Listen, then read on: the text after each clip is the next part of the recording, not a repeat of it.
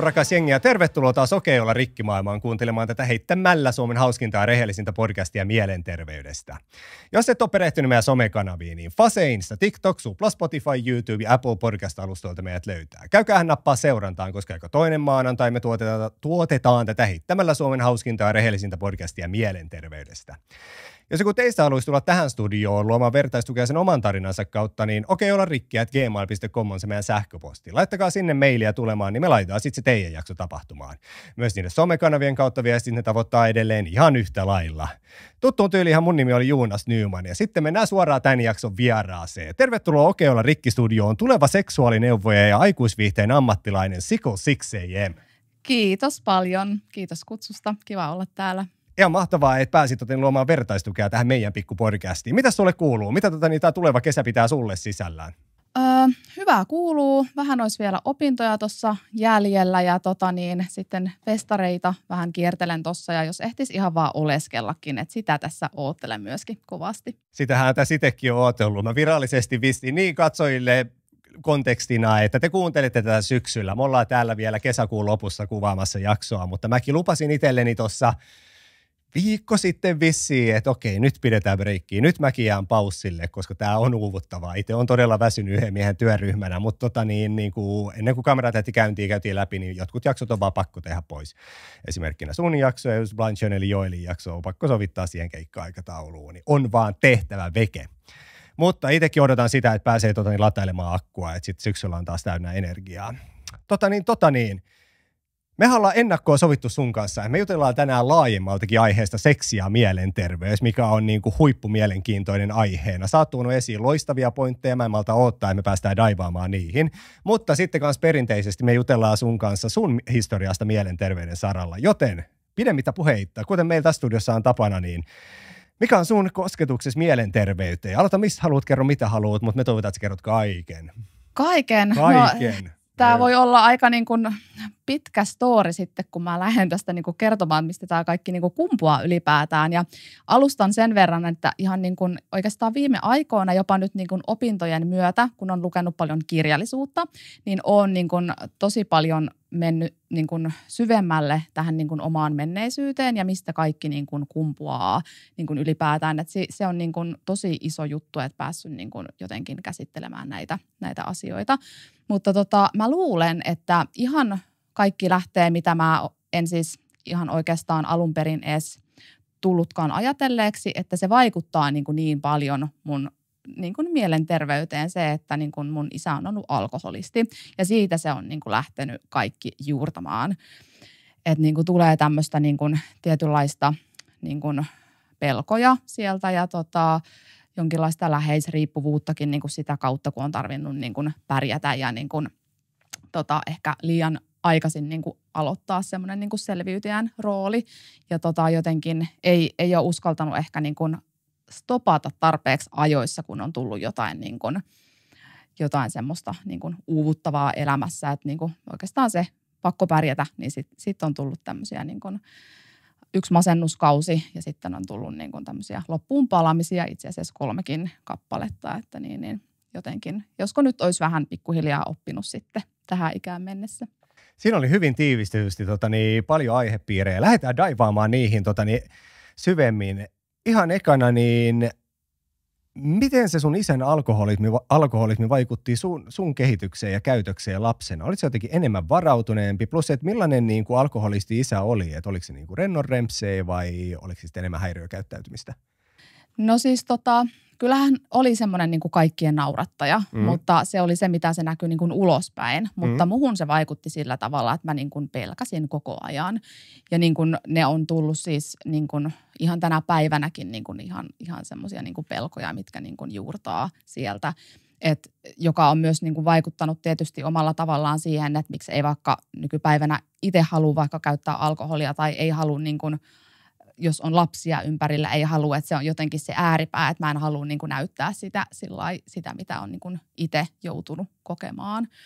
Että tota, joo, ja se, että tota, vein sitä niin kuin buranaa isälle ja kannoin oksennusämpäriä niin kuin liian nuorena ja tota, li, liikaa otin niin kuin vastuuta, mitä mun ei olisi tarvinnut niin kuin ottaa. Että siinä mielessä niin kuin vähän ehkä, ehkä harmittaa, koska eihän mun olisi pitänyt välittää, mutta en ole osannut olla välittämättä.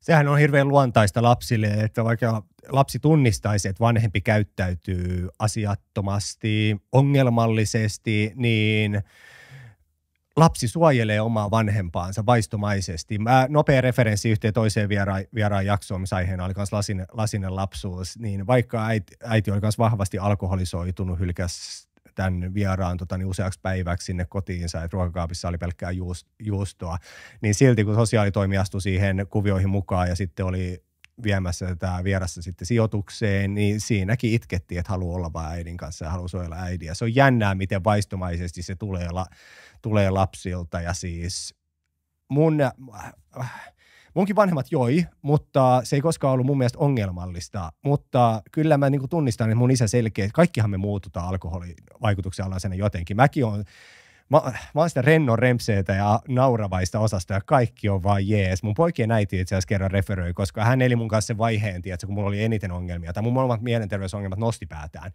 Niin hän referoi kerran, että mä oon paljon mukavempi kännissä kuin selvinpäin. Joo. Ja siitä tuli sitten sellainen vitsi, että pitäisi vissiin ruveta pämppäämään ja tissuttelemaan siitä pitkin viikkoa. Niin. Älkää tehkö sitä, alkoholi ei koskaan paranna niitä ongelmia, päinvastoin se amplifioi niitä. Tota niin, miten se pelko sitten ilmeni sussa lapsena? näkyykö se ulospäin jotenkin? Haittaisiko se sun sosiaalista käyttäytymistä muiden lasten kanssa? Että joo, sulla oli se pelko tunteena, mutta tota, niin näkikö sitä kukaan? No siis olin mä tosi niin kuin epäsosiaalinen jollain joo. tavalla. Ja niin kuin, mukamas mulla oli kavereita, mutta nyt kun mä mietin jälkikäteen, niin mä en oikeasti tiedä, oliko ne oikeita kavereita. Mä en uskaltanut oikein niin kuin avautua kellekään tai niin kuin, mitenkään niin kuin luottaa kehenkään. Että tietysti sen verran pitää sanoa, että voisi olla asiat niin kuin huonomminkin, koska äiti kuitenkin oli sillä tavalla, että huolehti ja hänellä ei ollut niin kuin ongelmaa alkoholin kanssa. Mutta tota, liian kauan hänkin sitä katteli kuitenkin sitten siinä, siinä niin kuin meidän kanssa. Että tota, mutta et joo, sillä tavalla. Ja sitten jotenkin mä en uskaltanut myöskään nukkua yksin. Se mm-hmm. oli niin kuin pelottavaa. Ja, ja myöskin se, että jos isä oli vaikka jossain, niin mua pelotti, että hän tulee niin kuin kaatokännissä kotiin. Että niin kuin kaikenlaisia niin kuin ehkä selittämättömiäkin pelkoja niin kuin on tullut. Se on ihan karmea tilanne itse vanhempana ja me molemmat ollaan vanhempia, niin, tota, niin se, että sä luot turvattomuutta omaan kotiin omalle lapselle, se on ihan karmea ajatus. Mä oon syyllistynyt siihen, koska traumojen yli, äh, siis traumojen, sukupolvien ylivälittyvät traumat isistä, miehistä ennen minua ja se kolmen vuoden pahoinpitely, mitä mä kohtasin yläasteella, jotka loi sitten ne mun ongelmat. Mäkin oon luonut turvattomuutta mun, mun kotiin ja pyrkinyt kynsin hampain ja mä oon pystynyt muuttamaan sen, tota niin, että mua ei pelätä, mä olen kannustava. Mä oon puhunut mun lapsille tosi paljon, että mä oon tehnyt itsestäni sen roiston silloin, kun mun se käyttäytyminen ei ole ollut jiirissä, koska mä kasvoin siihen ajatukseen, että mun isä on täydellinen, se ei tee virheitä ja totuus on, että se oli häpeän kautta opettava, ilkeä, katkeroitunut, mustasukkainen ainakin avioliitossa mun äidin kanssa. Ja niin kuin kaikki, se miten mä oon analyyttisesti miettinyt tilanteet, mä en vihaa ketään tai että mä en katkera hänen suuntaansa, mutta mitä mä oon miettinyt, että ne asiat, mitä, mistä hän ei pidä mussa, tai mikä on ollut retuperällä joskus aiemmin, että vaikka rahan käyttö tai sellainen niin kuin stabiilinen elämän rytmi, niin ne on kaikki asioita, mitä hän todellisuudessa vihasi itsessään, koska mä oon poklaanut aikuisena, että hetkinen, sus on näitä samoja piirteitä ja sä et ole ikinä puhunut mulle, että näistä vaan, että sä oot ainoastaan sen torumisen kautta yrittänyt sit iskostaa muuhun jotain parempaa, versus että saisit avannut suus, hei, tiedätkö, mä oon mokannut näissä asioissa, nämä on ne mun virheet, mitä mä oon tehnyt. Mä en ole täydellinen, älä pyri sellaiseen, mitä minä olen, että mä haluan, että susta tulee parempi se olisi povannut mulle loistavaa tietä, koska siinä kognitiivisessa kehityksessä, kun me blokataan käytösmalleja, sori, tämä on nopea monologi, mä menen kohta sun tarinaa, niin, tota, niin kun mä blokkasin niitä käytösmalleja, niin koska mulle muovautui se, että vanhemmat on täydellisiä, ne ei tee virheitä, niin okei, toi mitä Faija tekee, mun pitää tehdä tota ihan samaa, jotta mä menestyisin, jotta mä pystyisin niin kuin opiskelemaan hyvin. Ja sitten kun se ei toiminutkaan, mä olin ihan hämmentynyt ja kadoksissa, että miten helvetissä toi niin kuin on antanut mulle kommunikoinut toi tyyppi, että näin ollaan, koska se ei pyytänyt anteeksi. Se ollut niinkään fajalle, että näin pitää tehdä, vaan että sieltä ei tullut anteeksi tai että tein virheitä. Niin se johti mut väärälle tielle pitkäksi aikaa, mikä on johtanut sitten, että tästä ei ole tietysti joku pari kuukautta, kun mä lopullisesti sanoin välitiedätin, että nyt tästä ei enää. Ja se, se tuli itse asiassa ihan vaan pienen asian kautta, mutta se oli se mun kyllästyminen. Eli mä oon ottanut kesken vielä, mutta uutta tuontikaulaa. Mä oon läpi elämäni saanut olla ja katsoa niitä katseita, kun mä ilmestyn uuden tatuoinnin kanssa, että miten se on, ei kelpaa ja miten se on karmeen näköistä ja miten se kyseenalaistaa. Ja se oli se mun murtumispiste, että nyt mä enää jaksa kuunnella kritiikkiä. Ja se on ironista, että tämä sama ihminen, mun isäni sitten, silloin kun mun isoisä oli hengissä, niin kritisoi häntä siitä, että mun isoisä tuo niin kuin omia kysymättömiä mielipiteitä niin aina negaation kautta. Joo. Ja nyt se on, hän on sitten niin kuin seurannut sitä samaa linjaa, mutta meidän suvun paska isältä pojalle opittu perinne, se kuolee joku pää mun mukana. Mun pois tulee paljon tasapainoisempia ja parempia ihmisiä. Ne tietää, mitä edeltävät sukupolvet on tehnyt. Kyllä. Anteeksi tämä rönnysy, nyt tullaan takaisin sit, sitten, mutta niin mulla on tapana tarttua, kun on joku herkullinen hetki. tota, niin miltä, se, miltä se vastuu sitten, niin kun sä kerroit, että sä kannoit muranaa ja oksennusämpäriä isälle, niin muistatko mitä sä ajattelit? Sä oot sä yhteyden siihen pieneen tyttöön, että niin kun sä joudut kantamaan huolta ja vastuuta. Et ei, oliko sulla yhtään sellaista ajatusta, että eikö hetkinen, tähän, eikö sen pitäisi mennä toistepäin, että aikuiset huolehtii lapsista? No mä en oikeastaan ajatellut sitä sillä tavalla. Mä okay. vaan niin kun koitin pärjätä. Oli esimerkiksi semmoinen, mä siis tota, harrastin kuoroa silloin lapsena ja tota, niin hän lähti meille valvojaksi laivalle, niin tota, kuororeissulle ja – hän siellä sitten alkoi ryypiskelemään ja tota, mä, me mentiin sinne niin kuin laivan buffettiin ja mä tiesin, että siellähän sitä viiniä saa niin kuin litkiä. Ja tota, mun teki vaan, mä olin hiljaa siinä kohtaa, mutta mun teki oikeasti vaan mieli niin kuin huutaa niille aikuisille siellä, että viekää joku tää nyt pois. Että niin kuin mm. mä en pärjää tämän mun isän kanssa. Et, ja eikä mun olisi tarvinnutkaan. Ja tota, sitten mä huolehin, että hän pääsi niin kuin hyttiin ja nukahti sinne. Ja pelkäsin silloinkin, että hän niin kuin oksentaa siellä ja tukehtuu siihen. Mutta en tiedä, en mä niin kuin jotenkin sillä kyseenalaistanut sitä. Mä en uskaltanut niin kuin kertoa siitä kellekään. Että sehän mun olisi pitänyt tehdä. Kävikö sulla tota, niin kavereita sitten kylässä teillä kotona? Kävi kyllä, mm-hmm. joo. Mutta monesti se oli kyllä sillä että isä oli sitten töissä. Kyllä hän niinku työt hoiti, mutta tota, se mä jopa vähän pelkäsin sit niitä vapaa-päiviä, että onko hän niin kuin mukava iskä, että hän siellä niin kuin tekee ruokaa meille ja mm. siivoilee ja lauleskelee, koska hän osasi olla oikeasti tosi hauska ja niin kuin mukava. Mm-hmm. Mutta sitten oli se toinen puoli, niin tota, että koskaan ei tiennyt, että miten se vapaa-päivä ja vapaa-aika ylipäätään niin kuin menee. Mutta niin, niin kävi, kävi kavereita, mutta en, mä luulen, että ei hekään niin kuin sitä huomannut. Se on tosi surullista, että joutuu lapsena ottamaan niin isoa roolia ja sitten, että se haittaa, haittaa sitä sun kehitystä, koska let's face it, aika sata kertaa sadastahan se haittaa vanhemman päihteiden käyttö, vanhemman omat ongelmat, varsinkin sellaiset prosessoimattomat, mitä sä et lähde käsittelemään. Tota niin, sä oot itse vanhempikin nykyään, niin, tota niin näet sä sitten mitään sellaista ongelmallista sun käytöksessä, joka olisi ehkä peruja siitä isän tota niin, alkoholikäytöksestä? No en oikeastaan muuta kuin sen, että mulla on se toinen ääripää. Eli mm-hmm. niin kuin mä en juo yhtään niin kuin sillä, että ei, niin kuin sit voi tulla se lapselle, että hei, että minkälaista se on, että hei, että aikuiset juo yhden, tuleeko ne siitä humalaan. Mm. Että niin kuin ei, se pitäisi olla semmoinen perus, että voi juoda yhden viinilasin vaikka ruoan kanssa, mm. koska se niin kuin, periaatteessa haluaisi opastaa niin kuin, se, semmoiseen, niin kuin, että se on ihan normaalia mm. ja siitä ei niin kuin, tuu mihinkään kauheeseen känniin. Mm. Mutta tota, ehkä se, että on niin kuin, jotenkin liian varovainen. Joo, mullakin on, esikoinen on 14-vuotias, se on kysynyt jo vuoden verran kysymyksiä alkoholista. No miltä se tuntuu, kun on päihtynyt ja miten paljon pitää juoda, että tulee, tulee päihtyneeksi ja mikä on niin kuin normaali määrä. Ja osoittanut sellaista niin kuin ehkä ihan tervettäkin kuriositeettia. Mutta mä oon ymmärtänyt, että nykyskidien keskuudessa, mä en tiedä, näissäkin on varmasti alueellisia eroja, mutta täällä, missä Espoon tonteilla, missä me asutaan, niin tupakointi ei ole in koulussa. Se ei ole mitenkään trendikästä. Mä oon ymmärtänyt, että tota, niin alkoholiakaan ei kuluta enää siihen malliin, kuin mitä hetkinen. Mä itse 41, mun yläasteesta on mitä 25 vuotta. Holy crap, mä tunnun vanhalta. Mutta tota, niin silloin se oli ihan niin kuin sellaista niin kuin perusjuttua, että yläasteella astuu sitten alkoholikuvioihin. Yläasteella käytiin röökikalliolla sitten aina väl, välkällä. Miten teillä, tota, niin onko teillä, oletko mitään samanlaista sitten nuorison osalta? Ei ole mitään tuommoista vapetusta, vaan siellä on niin kuin heidän koulussa ollut, että ei mitään niin kuin muuta. Että yllättävän niin kuin fiksusti niin kuin kuitenkin käyttäytyy mm. sen suhteen toi nykynuoriso. Tai sitten ei ole vaan kantautunut korviin. Mutta. Se voi olla, että se ei kantautunut korviin, mutta en mä, mitä mä oon jutellut tuttavien ystävien kanssa, jotka on itse vanhempia kanssa ja samanikäisiä lapsia, niin ei se ole enää. Ja luen mm. kiitos, se on mahtava kehityssuunta, että tota, nuoret sitten on jättänyt sen päihteen ja röökaamisen. Oma muksu käy paljon kesäisin, ei se oikeastaan missään muualla olekaan kuin kalassa. Et ei se pyöri tuolla jossain yömyöhään ja vedä kymppisäkkiä jossain lekarin, lekarin alueella, niin kuin jotkut teki ehkä silloin, kun itsekin olin nuori. Mutta niin se on kaikki kaikkiaan terve ke- kehityssuunta. Tota niin, onko sun isä hengissä? Ei ole. Ää, kauan siitä kun hän menehtyi? 15 vuotta.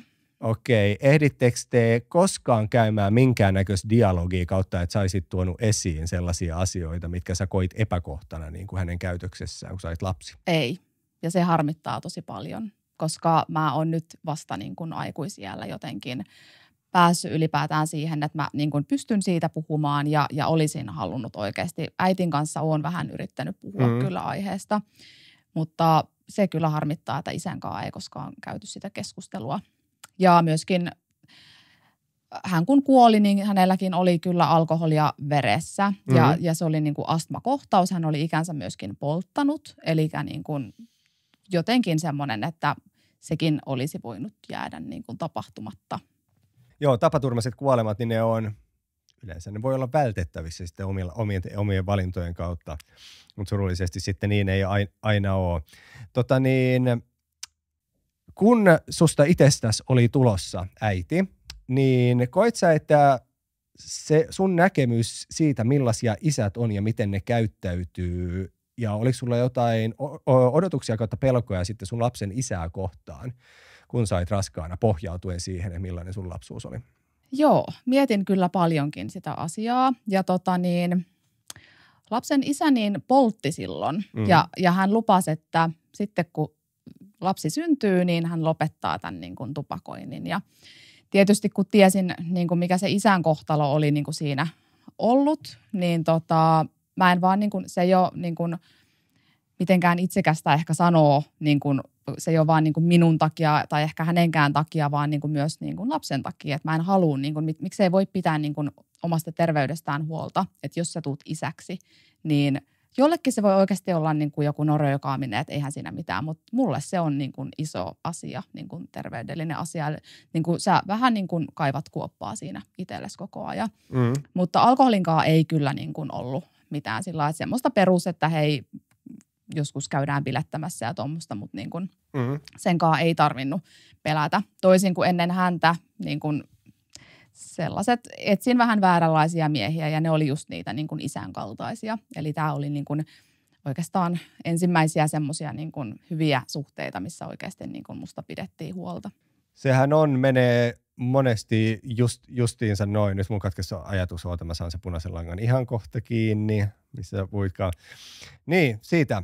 Tota niin, sun kumppanilla ei ole ollut sitä samaa niin kuin tunnekosketusta tai kokemusta röykaamiseen ja just niin kuin isän poismenon kautta sitten, mikä sulla on, niin sitten niin kuin samanlaista suhtautumista siihen ehkä sellaisella vakavuudella, minkä sä haluisit, niin sellaista on ehkä turhakin odottaa siinä kohtaa. Ihminen on, mä tuon aika monesti siihen lopputulokseen, että ihminen on aika itsekäs laiska otus. Ja vasta kun se nykyisen todellisuuden tuska kasvaa suuremmaksi kuin muutoksen pelko, niin silloin me muututaan.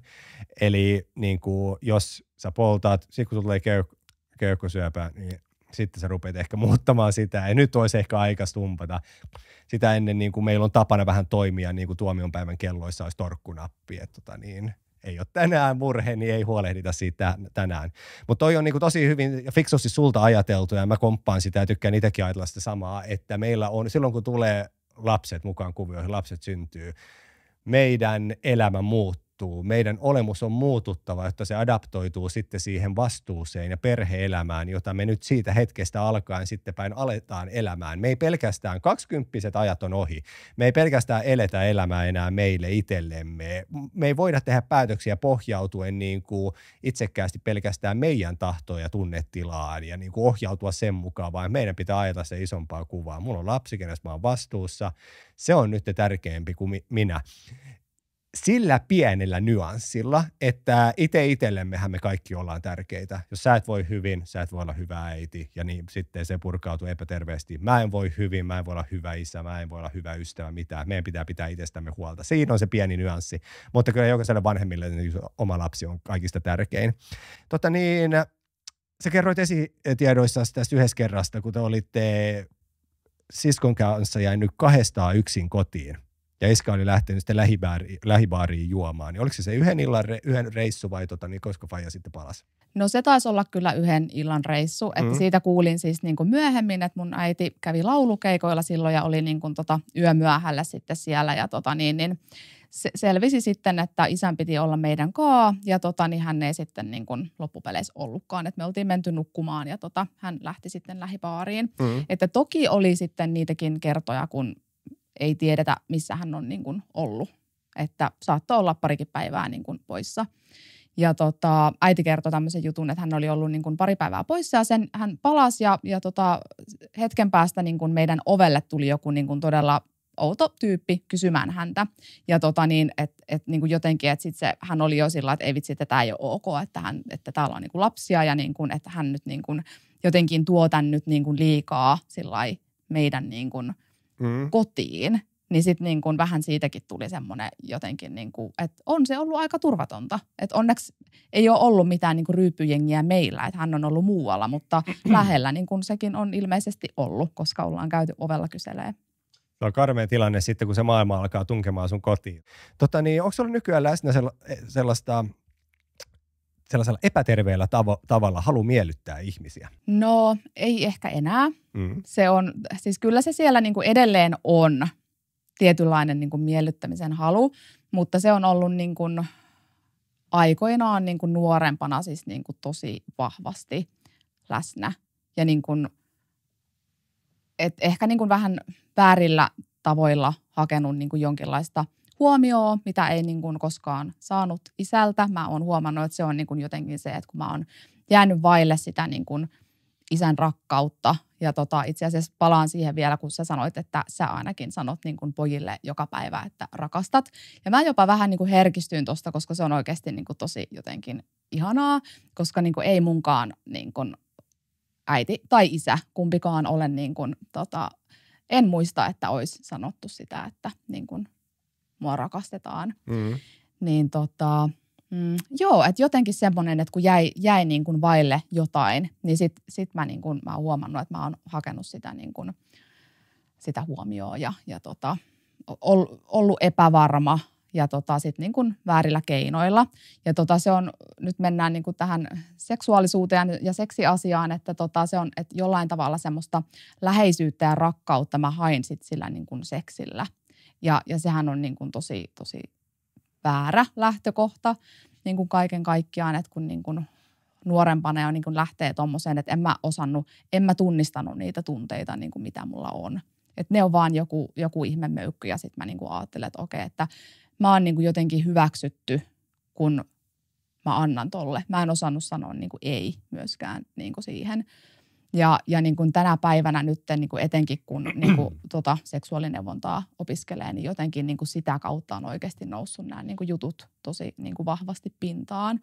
Ja tota, mutta niin kuin, kyllä ton, ton suhteen on kyllä niin kuin nykypäivänä niin kuin tasapainoinen, mutta tota, kyllä edelleen opettelua semmoisessa niin kuin tietynlaisessa, vähän niin kuin pitäisi enemmän ajatella kuitenkin itseään myös, että niin kuin – kun mulla on hyvä olla, niin sitten on niin kuin muillakin. Että ei niin kuin liikaa lähde niin kuin miellyttää tai hakemaan niin kuin sitä hyväksyntää väärillä keinoilla. Se on just näin. Meidän pitää voida hyvin, jotta me voidaan luoda hyvää ympärillemme. Toi, mitä, sanota, mitä sä sanoit, niin, että sä käyt kuullut sitä, että mä rakastan, niin äh, mä mainitsin sen mun isälle silloin siinä kahdessa a että tota, niin näitä sanoja mä en ole koskaan kuullut. Ja Faija vastasi siihen, että tollanen ei ole luontaista käytöstä hänelle, että hän tuntuu, että jos hän niinku toistaisi sitä, niin että hän feikkaisi jotain. Ja mulle se särähti korvaa ja niinku mun vankkumaton mielipide on, että sun pitää tehdä tiettäväksi lapselles, että se on rakas, se on arvokas, se on tärkeä, sä oot ylpeä siitä. Vaikka se ei, se on ihan paskapuhetta, että jos joku ei ole niin kuin ominaista toimia näin tai sanoa lapseen näitä asioita, Jumala, tee siitä ominaista. Sano niitä asioita. että sä voi mennä sen muurin taakse vanhempana, että mä en voi sanoa näitä, koska se ei ole niin kuin kuulu mun luonteen piirteeseen. Sulla on vastuu lapsesta. Sun pitää niin kuin tukea sen kehitystä ja ja tiedätkö, mulla olisi kelvannut, että ne asiat sanota, sanotaan. Se olisi ollut toissijasta, koska eihän mä nyt koskaan lapsena tietäisi, tarkoittaako vai tota, tai niin kuin, tuleeko se luontaisesti. Vai että sanot niitä asioita. Jokainen lapsi haluaa kuulla, että on arvostettu, on rakastettu, on tärkeä. Mulla on väliä, mut hyväksytään, musta pidetään. Koti on turvallinen mesta. Koska vaikka niin kuin ei ollut mitään ongelmaista alkoholikäyttöä Fajalla, mutta se on niin kuin lähinnä just ne tiettyjen asioiden puuttumaan jääminen, mikä loi mulle sitä turvattomuutta sit siellä lapsuudessa. Ja mulla oli tosi pitkä matka tietysti sen kanssa, että mä pääsin eroa siitä, että mä en miellytä faijaa tai pyrin miellyttämään, hae hyväksyntää. Siitä ei ole helvetti varmaan joku kymmenen vuotta, kun mä niin kuin pääsin siitä ajatuksesta irti, että mun ei tarvitse omalla suoritteilla niin kuin miellyttää tota äijää. Anteeksi. Et mä voin elää omanlaistani elämää ja tota, niin mä voin luoda sen riittävyyden tunteen sitten sen kautta, että mä olen täysin erilainen isänä kuin hän oli mua kohtaan. Mä saan sen mun lasten kautta, että se miten hän toimi, mä teen täysin päinvastaisesti ja helvetin paljon paremmin. Tämä ei ole mitään henkseleiden paukuttelua tämä koko jakso, mutta tota niin, tämä aihe saa mut aina vaan tota niin, kiehumaan. Tota niin, millaista se oli sitten, kun sä lähdit niin kuin seksin kautta hakemaan hyväksyntää öö, öö, muilta ihmisiltä, niin sait sä koskaan niin kuin tyydytystä sitten sille emotionaaliselle puolelle? En. En Edes saa. hetkeksi sitten. No, ehkä hetkeksi joo. Mm. Mm. Mutta Mi- niin, sit se ehkä jotenkin niin kun sen jälkeen se vaan niin kun tuli huonompi olo. Mm. Et koska mä, mä koen, että mä en niin kun, sillä, kun ei sitä aukkoa saanut sillä tavalla täytettyä. Että se Mm. mm. niin kun hetkeksi täyttyy, sitten se menee vaan huonompaa. Sitten jotenkin ehkä mä taas lähden sitten paikkaamaan sitä pahaa oloa sitten, että hei, että mä lähden taas hakemaan jotain niin kun uutta niin kun seksin kautta. Ja en mä niin kuin osannut puhua mistään tunteista. Ja jos joku muhun ihastui ja ajatteli, että hei, että olisiko tässä nyt jotain vakavaakin, niin mä, että ei tietenkään. Että en mä uskaltanut edes niin kuin sitoutua, koska jotenkin mä myöskin pelkäsin sitä, niin kuin, että mut hylätään. En mä, en mä voinut niin kuin rakastua tai lähteä oikeasti aidosti mihinkään, koska niin kuin mä, mä halusin, mä olin se pärjäävä, mä pärjään yksin ja niin kuin mieluummin sit, niin kuin mä hylkään, kuin mä tulen hylätyksi, joka on ihan kamalaa niin kuin nyt ajatella. Mm. Mutta se on hirveän luontainen tapa ajatella sitten, että jos kiintyy liikaa ja jos kiinnyt johonkin, niin sä saatat menettää se. Ja sehän on aina realiteetti. Elämässä tulee pettymyksiä. Kukaan ei me hautaan silleen, että olisi välttynyt tota, niin pettymyksiltä. Mutta toi, mitä sä kuvailet, niin äh, otetaan nopea vertauskuva. Sehän kuulostaa hirveästi niin kuin narkomaanin omaiselta toiminnalta tai päihdeongelmaisen toiminnalta. Että sä haet jotain asiaa, sä saat sen quick fixin siitä – se luo vähän hyvää oloa, mutta sitten se kurjuus palaa ja sitten jossain vaiheessa sä tarvitset sitten uudestaan sen fiksin, jotta sä taas pysyt toiminnallisena. Ja sitten se pyörä vaan jatkaa pyörimistä ja pyörimistä e- eteenpäin. Missä vaiheessa sitten havahduit siihen, että hei, tämä on niinku ehkä problemaattista tämä mun käytös ja niinku, hetken ei tämä luokkaa oikein niin hyvää oloa kuin mä toivoisin. No kyllä siinä meni niin kuin jotenkin se, se nuoruus niin kuin aika pitkälti niin kuin siinä. Ja tota, vaikka sitten oli niin kuin parisuhdetta siinä välissä ja muuta, että niin kuin ne vähän niin kuin herätti mut siihen niin kuin tilanteeseen, mutta sitten mä huomasin, että sen jälkeen mun oli tosi helppo vaan palata siihen ja olla sillä jotenkin, että, että niin kuin, mä huomasin siis, että se parisuhdekin oli tosi vaikeaa mulle, koska mulla ei ollut, kun se lapsuus oli niin, kuin niin semmoista, se ei ollut tasasta. Niin sitten kun se parisuhde on tasasta, niin mun on pakko niin kuin hakemalla hakea jotain draamaa, koska se on mulle niin, kuin niin normaalia. Niin ehkä mä sitten niin kuin sillä niin kuin lä- lähin jotenkin niin kuin siitä, siitä pois ja niin kuin en, en koskaan niin kuin selvittänyt niitä asioita. Et kyllä se oikeasti niin kuin pitkään vielä niin kuin jatku mulla, että niin kuin, et tuntuu, että ihan niin kuin viime vuosina jotenkin on vasta niin kuin oikeasti, niin kuin, vaikka se ei ole ollut niin kuin läsnä, niin se on ollut kuitenkin tuolla mulla takaraivossa niin kuin jollain tavalla, mutta niin kuin viime vuosien aikana mä oon vasta oikeasti niin kuin käsitellyt sitä.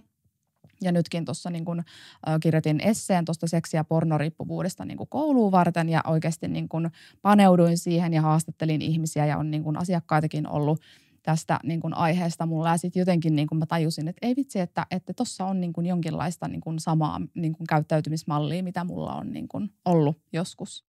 Traumatisoitunut ihminen, niin sehän ei halua mitään muuta kuin rakkautta ja hyväksyntää ja hyvää oloa, mutta koska se on niin vieras käsitteenä, niin sitten kun sä tapaat ihmisen, joka on johdonmukainen, rakastuva, huolehtiva, empaattinen, se kaikki tuntuu vieraalta, koska mä en ole tottunut tällaiseen käytösmalliin. Sitten tapahtuu just se, mitä sä kerroit. Sä lähdet haastamaan sitä, sä lähdet hakemaan ongelmia, sä rupeat haukkumaan sitä ihmistä, haastat, haastat riitaa, koska se kaikki tuntuu turvalliselta, vaikka se on ihan nurinkurista, mutta sä saat navigoida siinä tota niin, draaman keskellä ja se tuntuu lohdulliselta versus sitten, että jos on tasasta lentoa, niin sitä rupeaa miettimään, että tota, niin mä en ansaitse tätä, miksi sä rakastat mua, mitä vikaa sussa on, että eihän tämä nyt ole normaalia, ei mua ole näin ennen kohdeltu.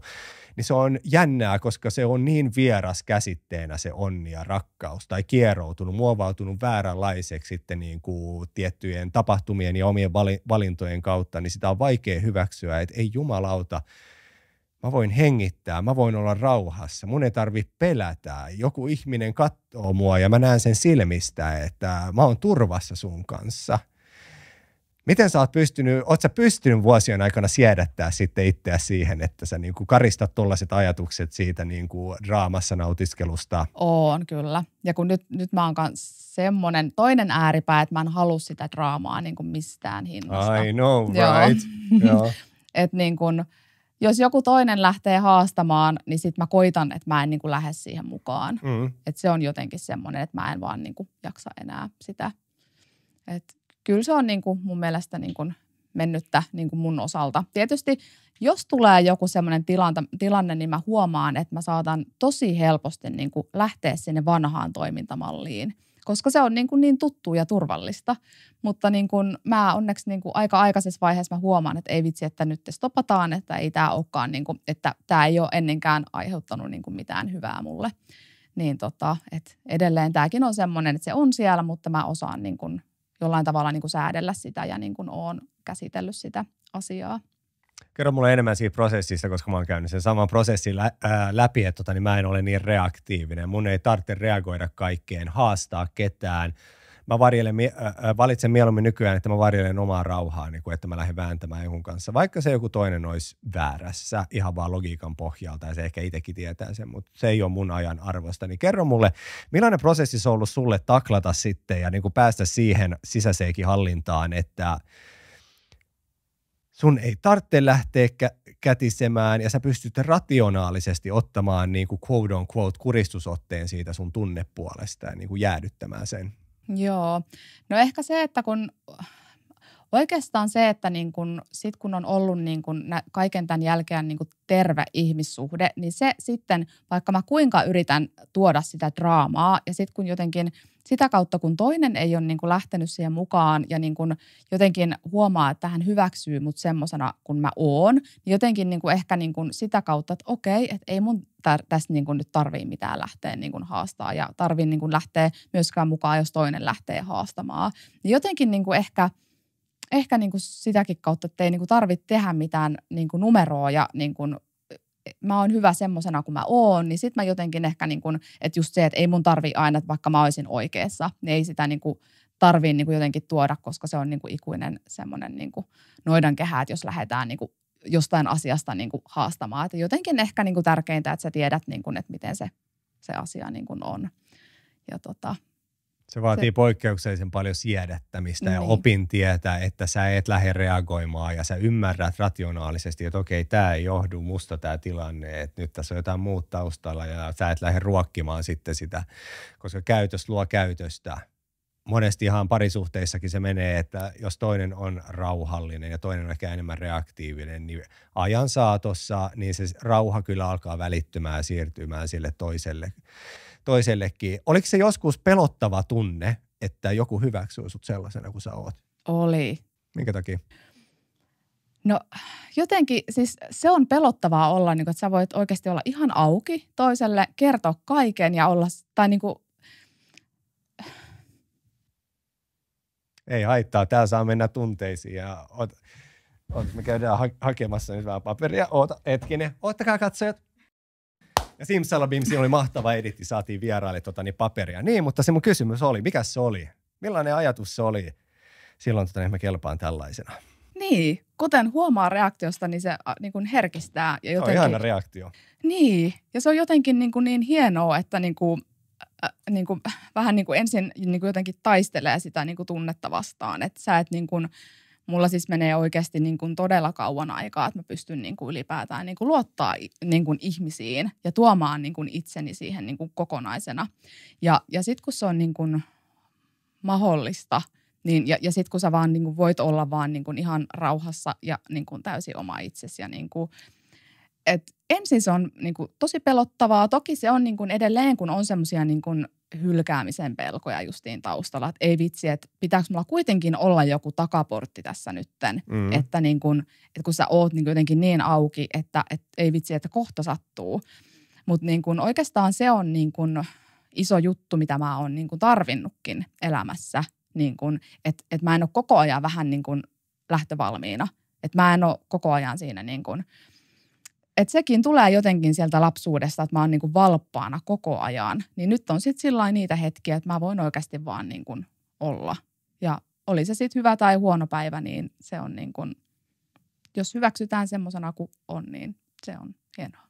Se on maailman kauneimpia tunteita, kun sä voit ankkuroitua jonnekin ja niin tiedät, että joku on sun tuki ja, tu, tuki ja turva ja kallio. Ja se on, se on harvinoista ja sellainen luottamus, koska luottamushan lähtökohtaisesti on asia, jota et, et sä sitä noin vaan anna kenellekään. Ja se muovautuu aina ajan kanssa to, toiseen ihmiseen. Pariskunnat, jotka on viettänyt kultahäitäänkin, ei nekään aluksi luottanut täysin siihen toiseen. Se on rakentunut ajan yhteisten kokemusten kautta. Ja just se, että miten meidät kohdataan vaikka kriisin hetkellä tai kun me murrutaan. Esimerkiksi nyt, esi- nyt esimerkiksi, koska tämä on tässä hetkessä, sulla alkaa kyynelehtiä. Jos mä niinku tiuskojen sulle vaan, että lähdes karppaamaan versus, että mä käyn nyt hakemassa sitten paperia siihen, niin siinä on niinku, noin sellaiset pienet asiat sitten, mitkä niinku vahingoittaa sitä luottamuksen sy- syntymistä. Että jos sä uudestaan uudestaan sut kohdataan lempeydellä, empatialla, vaikka mulla olisi ollut hyvä päivä, sä tuut murtuneena, tiedätkö, himaan, ja mä näen, että sulla on ollut paska päivä, niin mun duuni on unohtaa se, että mulla on ollut aivan sairaan hyvä päivä ja siirtää fokus siihen, että mä olen se tukiturva ja kallio. Ja sitähän on sellainen rikastuttava, ihana, hyvä vuorovaikutusdynamiikka. Mä rupean kaipaa parisuhdetta taas omaa elämääni, kun rupean tuota, niin puhumaan näistä asioista. Ja monestihan sekin on, nyt kyllä mäkin kun teen niitä, kysy anonyymisti juttuja, multa kysytään paljon parisuhdeasioista, niin tota, ja just, että on ollut pettymyksiä, miten voisi ikinä enää lähteä luottamaan. No sä joku valitet, että, että, että sä lähet rakentaa luottamusta jonkun kanssa sitten menneistä asioista huolimatta, koska niin kuin mä sanoin, pettymyksiltä ei kukaan meistä välty. Ja se on aina, se on aina realiteettia, että tämä suhde voi mennä perseelleen. Tämä asunto voi mennä alta. Että me ei, ikinä voida tietää niin kuin täydellisesti sataprosenttisesti, että tämä tulee päättymään hyvin. Meidän pitää vaan ottaa se riski ja valita, että kenen kanssa se riskin ottaminen on sen arvosta. Että hei, tämän kanssa mä haluan lähteä kokeilemaan. Ja se, mitä sä sanoit, että sä oot ollut vähän niin kuin jalka oven välissä sitten, että sulla on se exit plan koko ajan, niin sehän sotii itseään vastaan jo siinä – siinäkin mielessä, että tota, niin se vastapuoli aina aistii, jos toinen ei ole täysillä mukana. Että jos saat aina, mulle yksi tota, niin eksä sanoi, että hänen kaverinsa oli antanut vinkin, että se on fiksu aina pitää jalkaa vähän oven välissä. Mutta ihan logiikankin pohjalta, jos sulla on se jalka siellä oven välissä, niin se tarkoittaa sitä määritelmällisesti, että sä et ole täysin mukana siinä suhteessa ja teet sä mitä tahansa ja yrität pitää ankkuroitua silleen nonchalantisti siellä, niin se vastapuoli huomaa, että sä et ole täysin mukana. Ja kun sä valitset, että sä oot jalka oven välissä, niin silloin sä et tietoisesti lähe sijoittamaan siihen suhteeseen. Ja sä et voi vaatia silloin toiselta sellaista niin kuin täydellistä niin kuin supermahtavaa, kaiken kattavaa huomiota ja rakkautta ja kiintymystä, jos sä oot itse niin jalka siellä oven välissä ja valmiina luikkimaan karkuun. Niinpä. Et se, niin. että me voidaan saavuttaa jotain mahtavaa, me voidaan saada onnea, rakkautta, turvaa, niin se vaatii sitä, niin kuin, että sä siedät sitä tuntematonta, sä siedät sitä epämukavuutta. Mä en tiedä, miten tämä tulee päättymään. Mä oon päässyt siihen mestaan, tiedätkö? Mä en tiedä, miten valtaosa mun asioista tulee päättymään. Ja mä luin mielenkiintoisen tutkimuksen, mitä psykologit oli tutkinut, tutkinut Jenkeissä, että 85 prosenttia niissä asioissa, mitä me stressataan ja murehditaan, niin ne ei tule koskaan tapahtumaan. Ja se 15 prosenttia aika tulee tapahtumaan, niin siitä 15 prosentista 79 prosenttia oli helposti ratkaistavia ongelmia. Ja ne muutkin oli sellaisia, että kyllä niiden kanssa pärjää. Että sitten ruvettiin, mar- ää, nyt mun katkaisi ajatus, mitä sillä sitten haettiin, oli, että sä et voi ylianalysoida, miettiä, varautua kaikkeen, koska sitten se on jatkuvaa stressaamista, että mitä tekee, kun asia menee perseelleen. Sitten sä huomaat, että 75 vuotta me, meni elämästä jossain kohtaa ja sä oot varautunut koko ajan pahan päivän varalle, jota ei tullutkaan, versus että sä olisit niin kuin aktiivisesti sijoittanut siihen sun onnees. Kyllä. Mähän on semmoinen ollut, että niin kuin joko eletään siellä niin kuin tulevaisuudessa tai menneessä. Otetaan sieltä mm. menneestä ne niin kuin paskat asiat ja sitten niin kuin tulevaisuuteen silleen, että kaikki että mahdolliset niin kuin kauhuskenaariot, että mitä tulee tapahtumaan – et siinä on ollut opettelua oikeasti, että niin nyt eletään tässä hetkessä ja oikeasti tässä hetkessä on kaikki hyvin. Ja just niin kuin sanoit, että oikeasti niin kuin suurin osa, mitä me mietitään, niin ei tule oikeasti edes tapahtumaan. Mutta itse asiassa just kysyttiin viimeisimmässä Q&Aissa, että tota, niin joku laittoi, että hänellä on kaikki hyvin. Kaikki on tällä hetkellä hyvin, mutta hän pelkää, että hän menettää sen kaiken. Miten hän saisi chillattua ja en mä nyt ole mikään parisuhteiden ylijumala missään muodossa. En mä niin kuin rationalisoin, hir, ratio, järkeistän hirveästi asioita parisuhteissakin, kun olen, nyky, olen nykyään. Ja tota niin, just toi, että autoakaan sä et voi ajaa taustapeilin kautta. Ja siihen on syy, että se tota, niin, tuulilasi on isompi kuin se sun taustapeili. Sun pitää katsoa eteenpäin, mutta sun pitää samalla katsoa sivulle ja nauttia siitä et, mitä sä tällä hetkellä käyt läpi, missä sä olet nyt. Koska jos sä jatkuvasti kannat sitä menneen traumaa, samalla huolehtien tulevaisuudesta, niin sä et ikinä nauti siitä, missä sä nyt oot, vaan se on sellaista jatkuvasta niin kuin epämukavan siedäty, siedätystilaa. Ja tästä ei ole montaa kuukautta, kun mä tiedän, että sä löysin rauhan ton asian kanssa. Että totta kai mäkin haluaisin, että tämä menestyisi, toi menestyisi. Mä haluan päästä kouluihin äkkiä puhua mielenterveydestä. Mä haluan tehdä sitä, tätä ja tota. Ja samalla mulla on kaksi ihanaa lasta, jotka kasvaa. Mulla on ystävyksiä, joita pitää vaalia. Mun pitää käydä kunto, mä käyn kuntosalilla. Mä nautin tästä matkasta. Mulla on se unelma siellä. Ja mä samalla tiedän, mitä se unelman saavuttaminen tarvii. Se vaatii etappeja, välipysäkkeitä, pieniä voittoja sen matkan varrella. Mutta tämäkin on problemaattista meidän äh, hektisessä verkkoon kytkeytyneessä yhteiskunnassa, mitä me eletään tällä hetkellä. Netti kulkee sun taskus, kaikki tieto on saatavilla. Sun pitää suorittaa, sun pitää olla par- parempi siinä ja parempi tässä. Ja jotenkin me haetaan, moni hakee varsinkin somen kautta validointia sitten sen tykkäysmäärän kautta, ja sehän on helvetin epätervettä. Kun ennen sillä oli väliä, ennen niin kuin edes kun kännykässä oli matopelit, ja sitäkin pelattiin sen lähiryhmän kanssa. Mutta ne tyypit, joilla oli väliä, oli ne, jotka oli siinä sun edessä, sun kaveripiirissä. Sä haluaisit, että teillä t- tulee toimeen ja te tykkäätte toisistanne. Mutta ei, se ei enää riitä. Nyt sun pitää olla, niin kuin, että 100 000 ihmistä tykkää siitä sun yhdestä julkaisusta. Ja var, varsinkin sen pitää tulla saman tien, sellainen pitkäänteinen työ. Sitä ei oikein haluta enää tehdä, vaan se niin kuin edelleen, koska ollaan nopeasti liikkuva yhteiskunta, niin se tyydytys ja palkinto pitää tulla heti. Ihmiset yliarvioi, mitä voidaan tehdä vuodessa, aliarvioi, mitä voidaan tehdä 20 vuodessa. Ja sellainen kärsivällinen pitkäjänteinen työ, se vie aina hyvää paikkaa. Se palkitsee ja siinä sä pystyt nauttimaan samalla siitä matkasta, etkä sä stressaa siitä nopeasta palkinnosta, mikä pitää saada. Mistäkään me lähettiin nyt tähän röydistyyn? Mulla ei ole mitään kärryä. Niin siitä, että pitää elää tässä hetkessä. Just näin, Joo. pitää elää tässä hetkessä. Nauttikaa oikeasti, oikeasti näistä hetkistä, miten tällä hetkellä elette.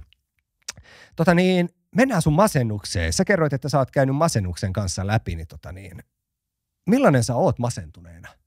Mm, no se on hyvä, hyvä vertauskuva, jos mä sanon näin, että no siis kun se, se oli 2014 lähti toi koko homma ja 2015 mä tosi nopeasti lähdin sillä, että no niin, että nyt mä asuin Seinäjoella silloin, oli omistuskämppä ja sitten no niin nyt myyntiin ja sitten tuli ero miehen kanssa ja okei, nyt mä muutan Tampereelle. Jotenkin hei, että nyt pistetään niin kuin asiat järjestymään. Eli vaikka mä olin niin kuin kuinka pohjalla, kuinka väsynyt, niin silti mä jotenkin vaan niin kuin puskin eteenpäin niin kuin vähän liikaakin, että nyt, että nyt on niin kuin pakko päästä niin kuin eteenpäin.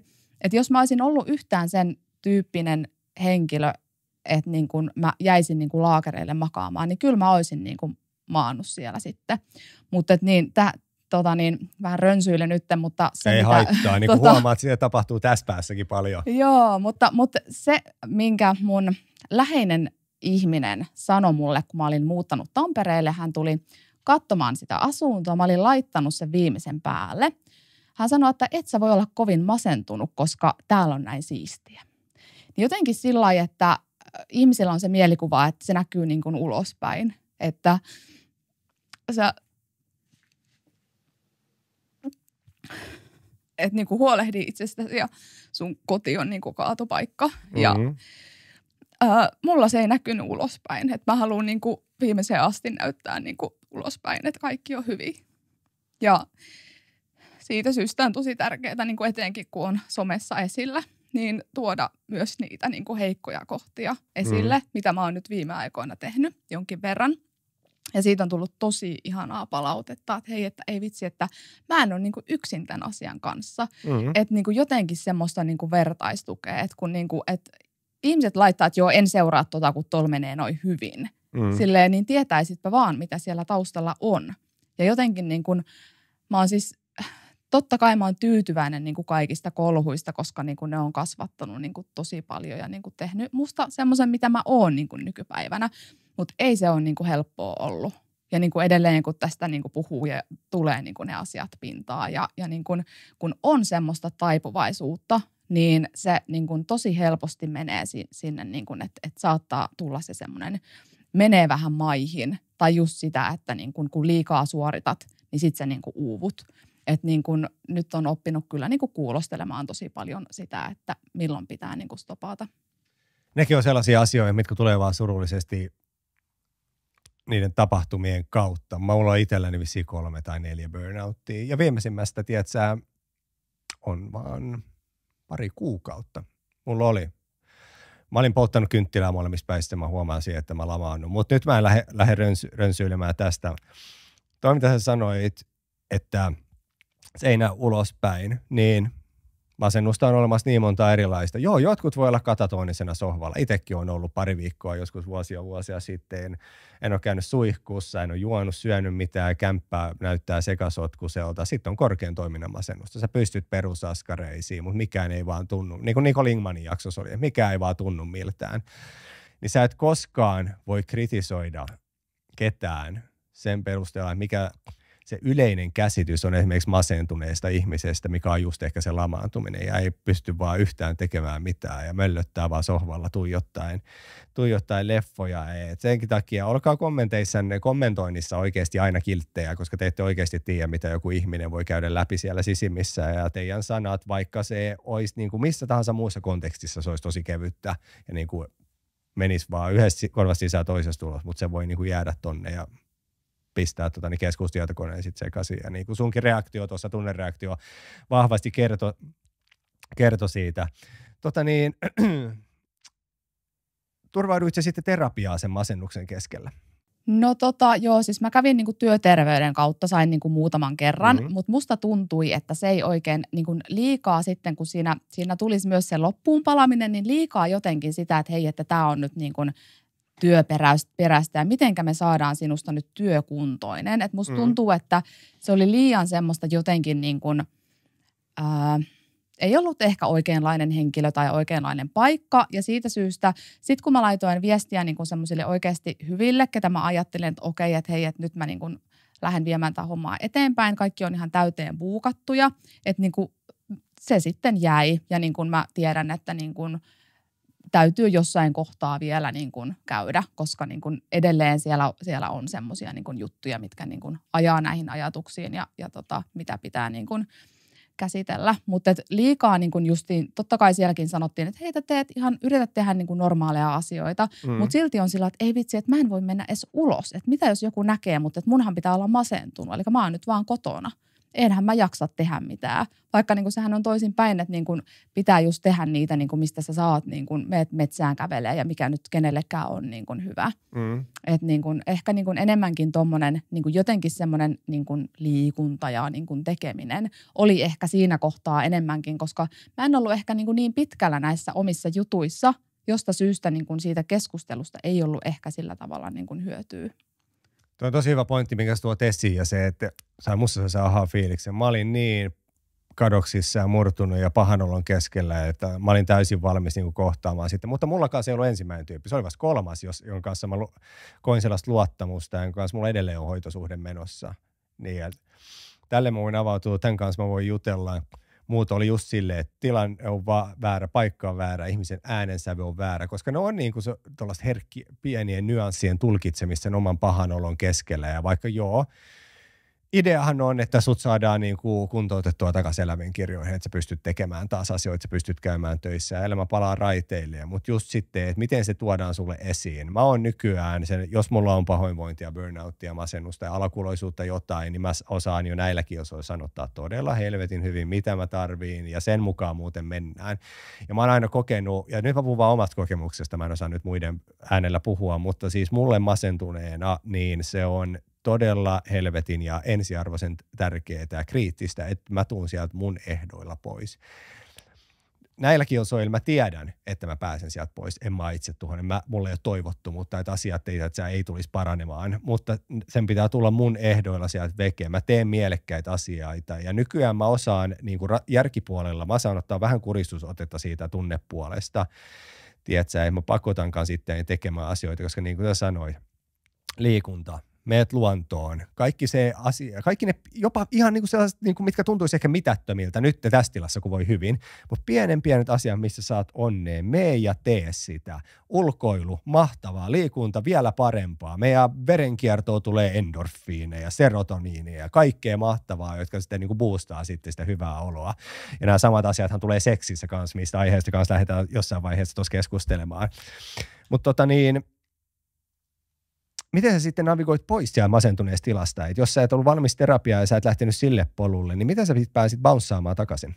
No mä en oikeastaan niin kuin tiedä, kun mä mietin just, että niin kuin kuinka pitkään sitä, niin kuin musta tuntuu, että se jotenkin meni semmoisessa ihme välitilassa niin kuin tosi pitkän niin kuin aikaa. Ja sitten kun mulla oli myös noita niin kuin kaikenlaisia tota, paniikkikohtauksia, mitä oli aikaisemmin tullut, niin sitten oli just se, että ei uskalla vaikka niin kuin mennä kauppaan tai muuta – niin oikeastaan sekin oli jo niin kuin saavutus, että hei, että mä menen niin kuin yksin kauppaan. Ja niin kuin jotenkin tämmöisistä ihan niin kuin pien, arjen pienistä asioista, niin kuin sä sanoit, että justiin, että, että niin kuin, mitkä nyt saattaa tuntua niin kuin mitättömiltä, niin sitten niin kuin lähet, lähet niin kuin tekemään niitä arkisia asioita. Niin mä luulen, että elämällä sitä normaalia elämää vaan ja niin kuin olemalla jotenkin onnellinen niistä asioista, niin kuin mitä on, niin ehkä se niin kuin siitä lähti sitten. Tuo oli tosi hieno, ihana freshi perspektiivi. Tolleen, jos tätä niin kuin masennuksesta takaisin askel, askeltelua koskaan niin kuin sanotettu tässä studiossa. Ja se toi tosi hyvin esiin tonne, että esimerkiksi just kaupassa käynti, se voi tuntua voitolta. Sehän on voitto, jos sä kykenet, että sä et ole pystynyt tekemään sitä ehkä hyvään toviin moneen päivään. Se tuntuu niin kuin vähän epämukavalta, mutta mä haluan mennä tekemään sitä. Se on voitto itsessään. Vaikka sä veisit roskat, se, että sä pääset suihkuun, peset hampaat, ne voi olla ihan pieniä asioita, mutta ota kunniaa ja nautin niistä pienistä voitoista, koska ne on sellaisia pieniä askeleita sitten, että millä sä pääset kapua, kapuamaan sieltä takaisin.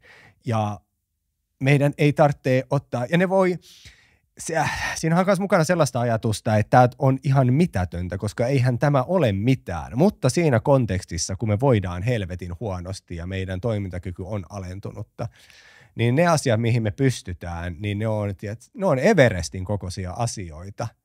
Eli ottakaa kunnia, olkaa ylpeitä silloin niissä paskoissa hetkissä, että kun te pystytte johonkin ihan snadi asiaan, vaikka tuntuisi mitättömältä, mutta ajatelkaa sitä voittona. Kerätkää niitä voittoja siihen, tota, niin, mä en tiedä, mielenterveyden koriinne ja tota, niin kasvattakaa sitten sitä omaa toleranssia.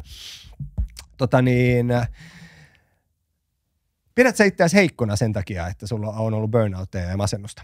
Pidän, joo. Että jollain tavalla silleen, kun on se, että mun pitäisi jaksaa mm. ja mun pitäisi pärjätä, niin totta kai tulee semmoinen, että niinku, siis mä oon muutenkin tosi helposti niinku väsyn, että tarvii semmoista niinku tosi paljon ihan vaan niin kuin luppuaikaa, semmoista niin kuin olemista.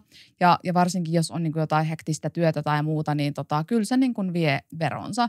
Ja mä ajattelen, että miksi mä en jaksa, kun kaikki muutkin jaksaa. Että et pakko vaan niin kuin jaksaa ja sen takia sitä pitkittää tosi, niin kuin, ei myönnä itsellekään, että et en mä nyt oikeasti jaksa. Mm-hmm. Että niin kuin, et kyllä se, se niin kuin kokee että jo, jonkinlaista huonommuutta ja heikkoutta, vaikka sitten kuitenkin mä oon kääntänyt ne kaikki sit lopulta voimavaraksi, vaikka ne ei ole niinku tuntunut siinä hetkessä siltä. Se ei ole hei, heikko. Me ollaan kaikki ihmisinä haavoittuvaisia. Meillä kaikilla kulkee murtumispiste jossain. Me ollaan kuin öljytty koneisto ja vähän niin kuin jos otetaan auton moottorista vertauskuva. Se mo- moottorista pitää huoltaa, sinne pitää vaihtaa öljy. Joskus jotain osaa menee rikki, se pitää korjata. Se moottori tarvii lepoa. Ei se voi käydä koko ajan, tiedät, maksimikierroksilla ja sä ajat 200 tuolla mot- mot- motorilla. Et ei, me ei olla täydellisiä olentoja, me ollaan puutteellisia. Ja ihan, nyt otetaan tällaista tylsää tilastojargonia tähän, et viime vuonna 2023 yli 100 000 suomalaisia jäi pitkälle sairasomalle ja se oli mielenterveysperusteinen, niin se jo itsessään kieli. Mä laitan vaikka sen taas juoksemaan tuohon alas, miten se niin lähtee hurjasti se kertaantuminen oliko 2016-2017 vuoden paikkeilla ja mielenterveys ottaa kärkisiaan sitten poissaoloihin työpaikalta, että työikäiset ihmiset on niin paljon veke, niin se jo kertoo siitä, että ei kaikki muutkaan jaksa. Niin. Me ollaan ylitetty kokonaisvaltaisesti sellainen kynnys, että se meidän tekeminen, se ei ole enää jossain kohtaa tuottelijasta. Jossain vaiheessa, jos tämä sama trendi jatkuu, asioihin ei puututa, niin me tullaan näkemään paljon enemmän poissaoloja ja mielenterveysperusteita, koska ihmiset uupuu.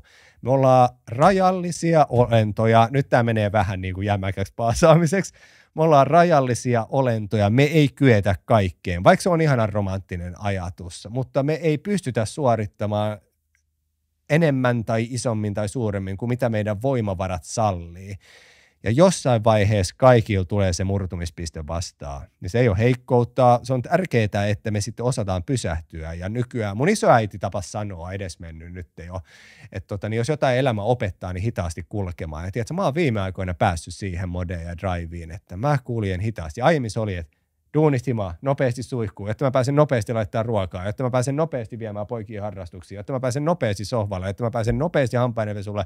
Ja aina se oli seuraava, seuraava, seuraava, seuraava täskin. Ja nykyään mä otan ajan kanssa kaiken. Ja jumalauta, mä voin paremmin. Mulla on mieli paljon rennompi, tiedätkö, kun mä teen ajan kanssa. Mulla ei ole mihinkään kiire. Se nyt ei tarkoita, että mä niin on vetelä tai laiska, mutta mä niin kuin rauhoitan itteeni ja niin kuin aina on se seuraava juttu, mitä pitää hoitaa, niin otetaan ne yksitellen. Se on hienoa.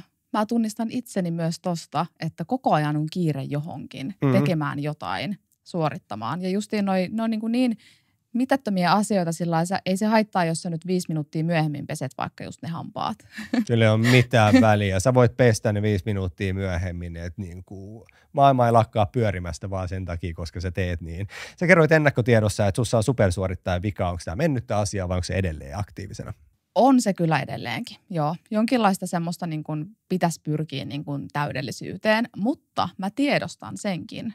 Ja myös se, että voin sanoa, jos nyt en jaksakaan tai niin kuin voin näyttää sen heikkouden. Että niin kuin mussa on ne molemmat puolet. Mä luulen, että se ei tule niin kuin ehkä koskaan poistumaan minusta, mutta tota, tietyllä tapaa niin kuin tiettyyn pisteeseen astihan se on niin kuin hyvä juttu, että niin kuin saa asioita aikaiseksi. Mm. Mutta sitten taas niin kuin se, että, että niin kuin tajuu, että missä kohtaa sit pitää niin kuin hellittää. Että niin kuin se on ainaista taistelua niin kuin omien rajojen kanssa. Ja joskus niin kuin mä en edes kehannut niin kuin kavereille sanoa vaikka, että hei, että mä en tuu, että piti niin kuin keksiä jotain, koska niin kuin nykyään on sillä lailla, että hei mä voin sanoa, että en mä jaksa. Mm. Että niin kuin sekin on jo niin kuin iso juttu. Niin kuin sanoo vaan. Ja, ja se on ihan ok, ei kukaan siitä niin kuin suutu. Joo, ei ainakaan pitäisi suuttua, niin. mutta joo, sä oot oikeassa siinä, että aina ei jaksa ja se on ihan ok sanoa. Mäkin kävin joskus sitä ajatuskamppailua, että mä oon, mä oon pettymys, jos mä en nyt lähde. Mä en halua tuottaa kellekään pettymystä ja mulki oli se supersuorittajan rooli. Mä tiesin, mä oon aina tiennyt, että täydellisyyttä ei ole olemassa, mutta surprise, surprise, kyllä mäkin olen sitten yrittänyt tavoitella sitä ja nykyään mä kelaan, että mäkin tykkään suorittaa ja tehdä ja olla tuottelias ja viedä asioita eteenpäin. Mä oon energinen, mulla on drivea, mutta nykyään mulle riittää, tiedätkö, mä suoriudun vaikka erinomaisesti. Joinakin päivinä tarpeeksi hyvä riittää. Mä en soimaa siitä itseäni. Mun ei tarvitse jaksaa aina, koska kukaan ei jaksa aina. Ja mä en tiedä, mistä se t- tulee nyt se ajatus, ja se on toistunut monella vieraalla kanssa, että no, mutta kun kaikki muutkin tuntuu jaksava ja olevan supersuorittajia, kun ei se ole niin. Edelleen me ollaan kaikki rajallisia olentoja. Hyväksykää se rajallisuus ja navigoikaa sen mukana ja keskittykää siihen hyvinvoinnin, hyvinvoinnin kohentamiseen. Tota niin, miten sä sitten pystyt maadottamaan itseäsi pois siitä supersuorittajan roolista? Tai mitkä on sellaisia niin kuin merkkejä, lippuja sulle, että sä huomaat, että nyt lähtee keulimaan liikaa ja on pakko painaa jarruun? No kyllä se tulee niin kuin, no helposti tulee kaikkia fyysisiä oireita. Eli mä menen niin kuin vähän jo niin kuin liian pitkälle, mm. että mun niin kuin kroppa sanoo, että hei, että nyt pitää pysäyttää. Et jotenkin ehkä niin kuin, joo, että pitäisi niin kuin vähän jo aikaisemmassa vaiheessa, mut, mutta tota, kyllä se on niin kuin se tietynlainen niin lamaantuminen tai niin väsymys, mikä niin kuin kyllä sitten kertoo siitä. Ja noihan se yleensä menee, niin se on mennyt mulla joka kerta mun rupeaa keho oireilemaan, mystistä väsymystä, selittämätöntä särkyä ja niin kuin se manifestoituu se mielen rasitustila fyysiseksi, koska keho-mieli-yhteys on niin älyttömän va- vahva kombo ja linkki on monesti todettu ja tiedostetaan olevassa olemaksi asiaksi. Mutta mullakin se manifestoituu aina fyysisenä. Ja nyt viimeisimmässä niin mä huomasin jo siitä, että mun kyky sietää ärsykkeitä on todella olematon. Mulla oli poikien tota niin, äidin koira täällä hoidossa, kun hän oli viikon reissussa. Ja kun mä menin ulos koiran kanssa ja siellä tuli vastaan toinen koira ulkoiluttaja ja koira räksytti ihan julmetusti, niin mun sisäinen ääni huusi, että astu sen koiran päälle. Eihän mä nyt tietenkään tekisi sellaista, mutta se kuvasti sitä, että se oli ehkä sellainen ensimmäinen hälytysmerkki, että okei, mä en siedä ärsykkeitä nyt ollenkaan. Nyt on pakko himmata – ja ruveta tekemään vähän analyysiä, mistä kaikesta tämä johtuu. Ja ne syyt, kyllä mä ne aina löydän nykypäivänä. Tunnistat sä syyt, tota niin, että miksi sä ajaudut sitten loppuun? No kyllä mä tunnistan, joo. Yleensä se on niin kuin useiden asioiden summa. Ja sitten se on vaan justiin se yksi pieni asia, että, että mistä se, se niin kuin jotenkin selkäranka katkee niin, kuin niin sanotusti. Mutta joo, kyllä niin kuin ehkä helpommin nykyään ja niin kun, jos en, niin mä lähden jotenkin selvittämään. Mä haluan niin purkaa sen tilanteen, että näin ei pääsisi käymään. Ja musta tuntuu, että mä oon aina, mä en ole niin levännyt tarpeeksi. Mm. Silloin kun on tullut semmoinen heikko hetki, niin jotenkin on tosi niin kun ehkä herkässä tilassa niin kuin sillekin, että pitäisi vaan niin kuin jotenkin antaa niin kuin oikeasti aikaa sille toipumiselle. Soimaat sä itseäsi silloin, kun sä oot päästänyt tilanteen menemään siihen pisteeseen, että oh, nyt mä en taaskaan jaksa? Joo, pitäisi olla, niin, niin en mä tiedä, jotenkin pitäisi olla koko ajan tekemässä jotain. Mm. Et ainoastaan, jos mä oon kipeänä, mä oon vaikka kuumeessa, niin sitten mä oon sillä, että ah, ihanaa, että nyt voi vaan olla, että nyt mulla on lupa olla. Ja niin kuin nyt mä voin vaan sanoa kaikille, että mä oon oikeasti kipeä, että mä en niin kuin voi. Et se on niin kuin oikeastaan ainut hetki, milloin mä en pode syyllisyyttä. Toki jos sitä jatkuu pitkään, niin mä poden sit siitäkin syyllisyyttä, että oispa niin kuin terve. Onko lepo sun mielestä sellainen asia, mikä pitää sitten ansaita jotenkin? On. Minkä takia? No niinpä. Mä en tiedä, koska mä kuitenkin niin kuin, niin kuin mä sanoin aikaisemmin, että mä kaipaan sitä niin kuin luppuaikaa. Ja se olisi nimenomaan justiin sitä lepoa. Mm. Mutta sitten kuitenkin niin kuin, en mä tiedä, miksi siitä sitten potee syyllisyyttä. Et. Mulla se oli ainakin aikanaan sitä, että koska mulla sellainen passiivinen oleminen on vähän ongelmaa, koska mä koin itteni laiskaksi ja mitään saamattomaksi. Ja nyt te palataan taas siihen, että miten me ollaan rajallisia olentoja, me tarvitaan huoltoa, me tarvitaan lepoa. Lepo ei ole sellainen asia, mikä pitää ansaita, vaan että kyllä meidän kroppa viestittää meille. Meidän mielikin kyllä tunnistaa sen ja sitten yrittää kertoa, että nyt pitää levätä. Okei, kehitys kun otetaan mukaan kuvioihin, niin kehityshän on sellaista, että jos mietitään vaikka tätä mun formaattia, niin mun on laajennettava sitä mun mukavuuden piiriä. Ja niin kuin Kari Ketonen sanoi omassa jaksessaan, että kehitys ei tapahdu epämukavuusalueella, vaan sen mukavuusalueen reunalla niin, että sä työnnät käden toisenkin jalan ehkä sinne epämukavan puolelle. Sä oot ankkuroitu edelleen sille mukavuusalueelle, mutta sä laajennat sitä ja sä siedät itseäsi. Niin sekin on kanssa, että pitää löytää sellainen hyvä tasapaino sitten sen oman tekemisen ö, oman teke- mitä mä olin sanomassa, oman tekemisen kanssa niin, että sä pystyt silti kehittymään ja laajentamaan sitä omaa osaamispiiriä, mutta samalla niin kuin huolehtia siitä levosta, että sä et polta itseäsi loppuun. Ja edelleen, koska ollaan rajallisia olentoja, me ei pystytä kaikkeen, meidän pitää mennä sellaista hyvää tahtia eteenpäin kuitenkin siedättää ja kasvattaa koko ajan sitä niin kuin resilienssiä, jotta me pystytään sitten aina parempaan ja parempaan. Mä tein yhden julkaisun jokin aika sitten, että niin kuin, missä mä summasin sen, että lause mä oon hyvä näin miksi se on mulle ahdistava, koska se viestii mulle, kun se repii atomeiksi, että mä en halua kehittyä, mä en halua unelmoida, mä en halua tota, niin luoda parempaa, mä oon hyvä näin, tämä riittää odotetaan viikatemiestä ja tota niin, kuolo, kuolo korjaa.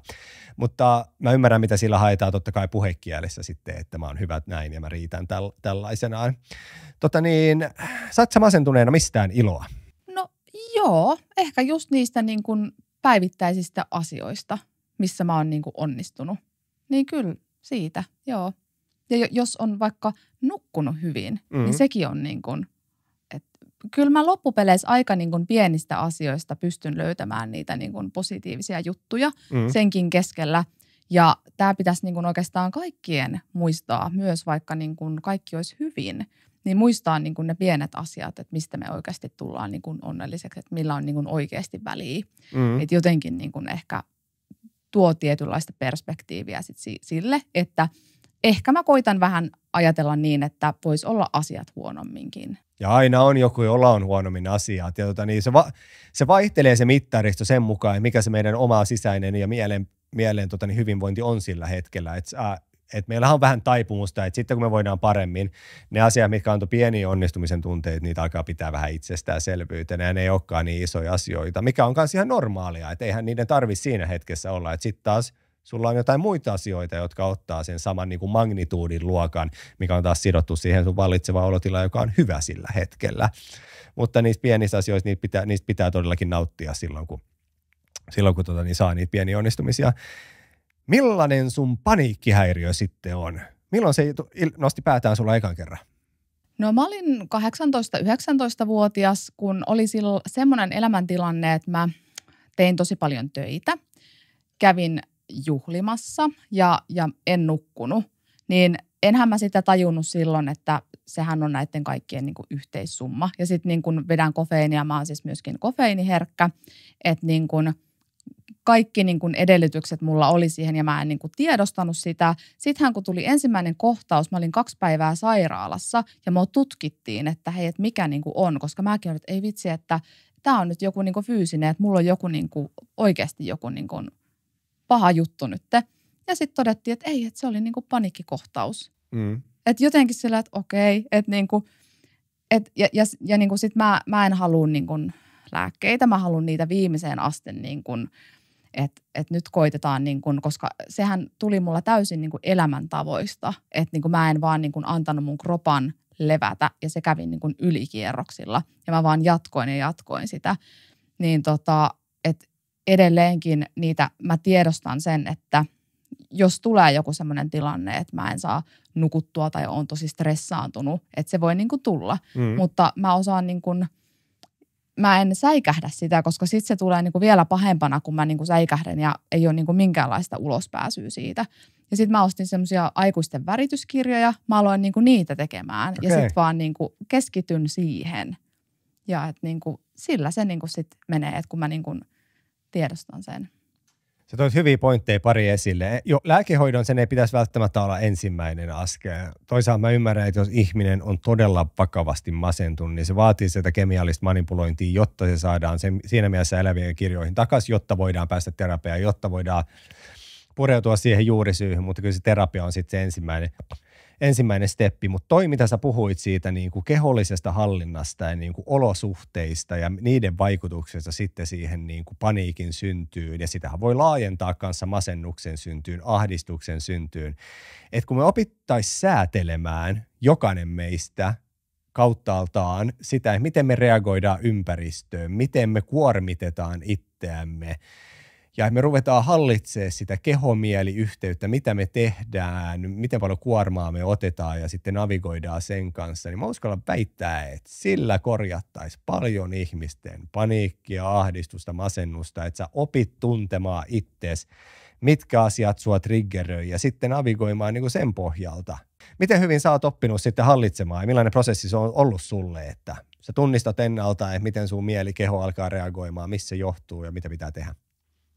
No oikeastaan niin kuin kaikki tuli sen kautta, kun mä oon niin kuin aloittanut terveellisen elämän. Jotenkin silleen, että niin kuin kaikki liikkuminen ja terveellisesti, terveellisesti syöminen ja ää, nukkuminen sillä että mä koitan niin kuin mennä ajoissa nukkumaan ja muuta, Niin ehkä se siitä niin kuin lähti sitten niin kuin pikkuhiljaa, kun mä tiedostan sen, että miten se vaikuttaa minuun. Niin kuin sillä, että sen takia mä en mene esimerkiksi juomaan, että mä saan kauhean krapulan ja mä oon kauhean väsynyt, koska mm-hmm. mä tiedän, että mä saan sen panikkikohtauksen ihan varmasti silloin seuraavana päivänä, ellen jo sitten samana iltana.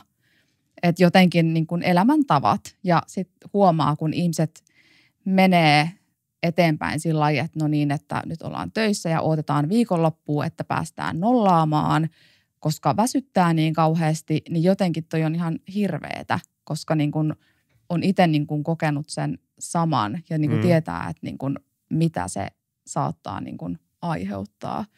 Niin oikeastaan niin kuin se niin kuin elämäntaparemontti mm. niin tota, on tehnyt todella paljon – Sehän on kuin käärme, joko se oma häntäänsä, että viikolla ollaan väsyneet ja päästään rellestään. Ja näillä munniella ainakin, jos mä, menen, jos mä menisin juomaan, mä toivon kolme, neljä päivää siitä hommasta. Että ei se ole enää niin kuin, että seuraavana päivänä voidaan mennä puntille, niin kuin se oli joskus silloin teini-ikäisenä mahdollisesti. Tokko paljon fiksuu silloinkaan. Mutta toi on niin totta, mitä sanoit, ei ne lääkärit turhaan siellä. Ja tämähän on myös sellainen keskustelu, mikä ärsyttää tiettyjä ihmisiä tietyissä hetkissä, tietyissä piireissä. Että tyr, tyr, niin kuin heittomerkeillä tyrkyetään lääkärin toimesta sitten niitä niin kuin liikuntaa, mitä ravintoa sä syöt. Shokki yllätys, se ravinto, mitä me tungetaan kurkusta alas, miten se vaikuttaa meissä. Että jos me syödään paljon prosessoitua ruokaa, kaikki ne lisäaineet, ne aiheuttaa reaktioita meidän kropassa, ne voi aiheuttaa jännitteitä. Jos sä et huolehdi elektrolyyttitasapainosta, sä oot alinesteytynyt, niin se laittaa sun kehon toimimaan ja se tekee epämukavan mielen sun, epämukavan olon sun mieleen ihan vaan fysiologisesti, koska sun kroppa viestittää sun aivoille, että ei ole tarpeeksi nestettä. Se tekee sulle paha olon, jotta sä noisit sitä nestettä.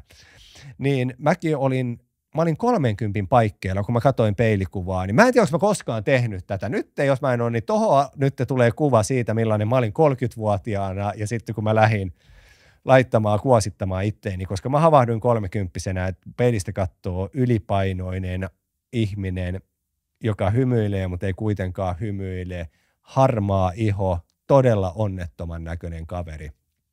Ja sitten siitä mä ekat kolme kuukautta tiputin 20 kiloa. Ja sitten mä rupesin rakentaa lihasta kaveriopastuksella ja sitten mä löysin sen niin kuin hyvinvoinnin. Koska tämä nyt ei ollut mulle silloin niin kuin mikä ajatus, mutta mä söin paljon niin kuin valkoisia vehnätuotteita. Mä join puolitoista litraa sitä sokerikokista per päivä. Funtsikaa päivässä puolitoista litraa sokerikolaa.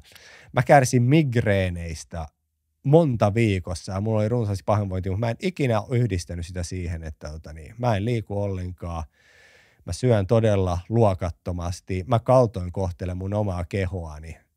Mutta on sellaista, mitä ei sitten hirveästi kotioloissakaan kyllä opetettu mulle. Saatiin, mä en tiedä, oliko se niin kartalla silloin silloin varmasti se oli, mutta mä olin helvetin hyvä ummistaa silmäni sieltä. Mutta joo, mennään takaisin siihen sun juttuun. Se on todella tärkeää, että miten me laitetaan, miten me kohdellaan. Keho on temppeli, niin kuin joku on sanonut, ja meidän pitää oikeasti huoltaa sitä, pitää siitä huolta, jotta me voidaan sitten kokonaisvaltaisesti voida, voida paremmin.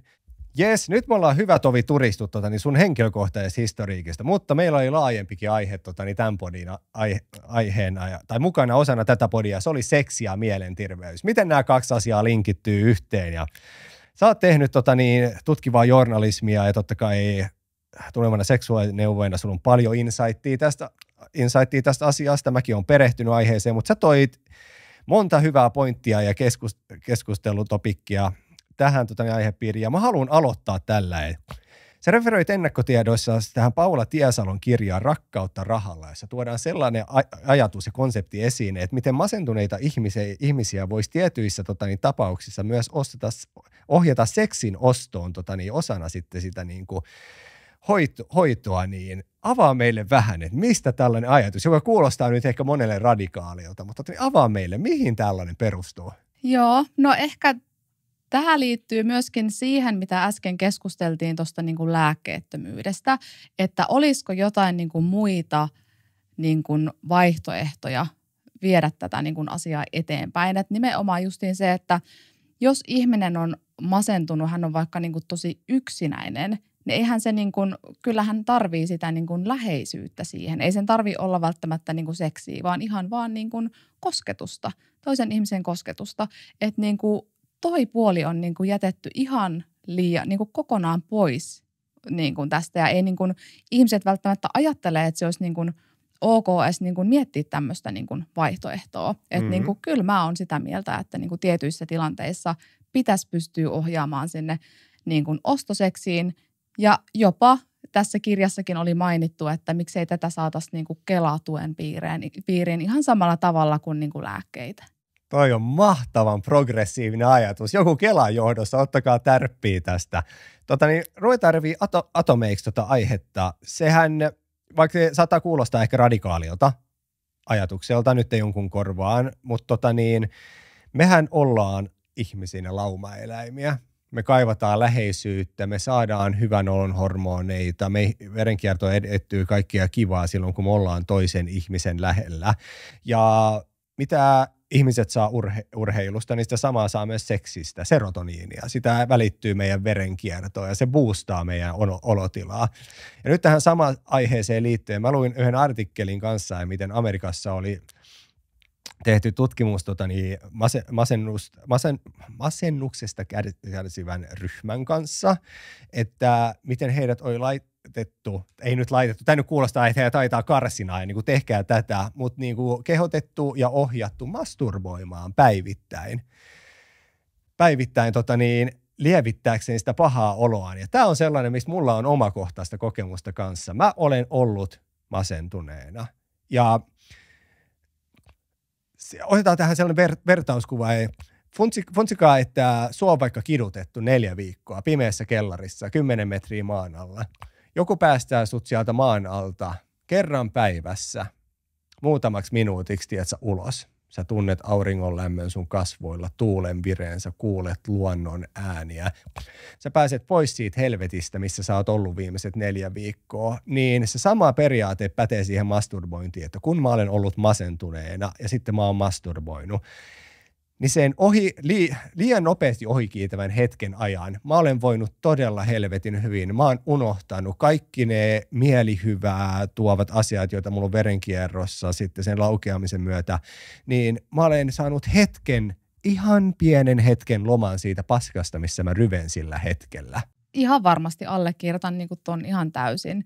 Ja niin kuin, äh, joo, ehkä niin kuin tässä myöskin mennään sitten siihen, että kun tuohon varjopuoleen, että sitten kun jotkut on vaikka masentuneita siitä, että ollaan niin kuin seksiriippuvaisia, niin sitten taas niin kuin toi puoli, että niin kuin, et, ettei niin kuin siinä kohtaa lähde, niin kuin väärin vähän niin kuin lääkitsemään sitä asiaa. Että toi mm. on niin kuin kaksiteräinen miekka, sanotaanko näin, että niin kuin, mm, se, se voi olla niin kuin kierre, se voi olla positiivinen kierre tai sitten se voi olla niin kuin negatiivinen kierre. Ja niin kuin ehkä kun miettii tätä mun niin kuin aikuisvihdepuolta, niin sit mm-hmm. moni ajattelee, että mä en voi olla seksuaalineuvoja, koska mä teen aikuisviihdettä. Vaikka nimenomaan niin kuin sitä kautta mä oon kiinnostunut tästä, koska mä oon törmännyt tämmöisiin niin kuin seksiriippuvaisiin ja kaikkiin fetisseihin ja muuhun, mikä on niin kuin tosi siistiä, että niin kuin ihmiset on löytänyt jonkun fetissin oikeasti, että mistä ne nauttii, ja jos, jos ei siitä ole niin kuin mitään vaaraa kellekään tai mm. hänelle itselleen, niin tota, mähän vaan on niin kuin syventynyt enemmän siihen aiheeseen ja mä pystyn enemmän olla niin kuin ammattilainen. Ja jos mä törmään vaikka johonkin, että jos yhtään vaikuttaa siltä, että joku on niin kuin seksiriippuvainen, niin mieluummin mä ohjaan hänet eteenpäin, kun otan häneltä rahat ja yritän niin kuin lypsää, koska hän on riippuvainen siitä, mm. mitä mä niin kuin teen. Että niin kuin mä koen, että mulla on oikeasti niin kuin tosi terve suhtautuminen tähän ja jopa niin kuin sen oman niin kuin taustankin puolesta, koska mä oikeasti niin kuin tiedän, että niin kuin on henkilökohtaista kokemusta, että minkälaista se voi olla se vääränlainen seksikäyttäytyminen. Eihän se kaikilla tietenkään niin kuin näyttäydy samalla tavalla, mutta niin kuin, että pystyn oikeasti niin kuin tietä, tiedän, että miltä heistä niin kuin tuntuu. Mikä tahansa asiahan voi synnyttää riippuvuutta tässä maailmassa. Äh, meikkaaminen, shoppailu, huumeet, seksiet, niin, kuin, niin paljon kuin on olemassa asioita, niin joku sata varmasti on riippuvainen jossain päin maailmaa siitä asiasta. Tota niin, äh, millaista sitten negatiivista se tota niin, seksiriippuvuus sun mielestä sitten aiheuttaa ihmiselle? Tai no, sun, ei välttämättä sun mielestä, vaan niin kuin sun niin. osaamiseen pohjautuen. Joo, no siis pahimmillaan justiin, että tulee niin kuin eroja, tulee sitten niin kun sä haet sitä ostoseksiä, niin sit sä joudut taloudelliseen ahdinkoon. Niin kun näähän on niitä niin kun mm. pahimpia juttuja, mitä voi niin kun tulla ihmiselle.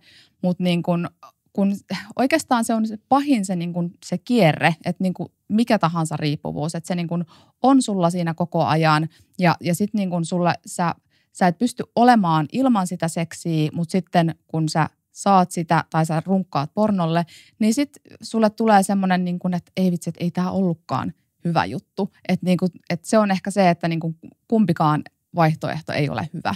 Ja voi olla, että tulee se morkkis ja sitten sen morkkiksen jälkeen sä vaan teet sitä uudestaan uudestaan, koska sä haluat niin kuin taas sen hyvän olon. Mm. Ja sitten sit tulee taas se morkkis. Että jotenkin se, että eihän se riippuvuus ole niin kuin mikään yksi asia, vaan siellä on yleensä taustalla joku niin kuin juttua, että mistä se niin kuin lähtee.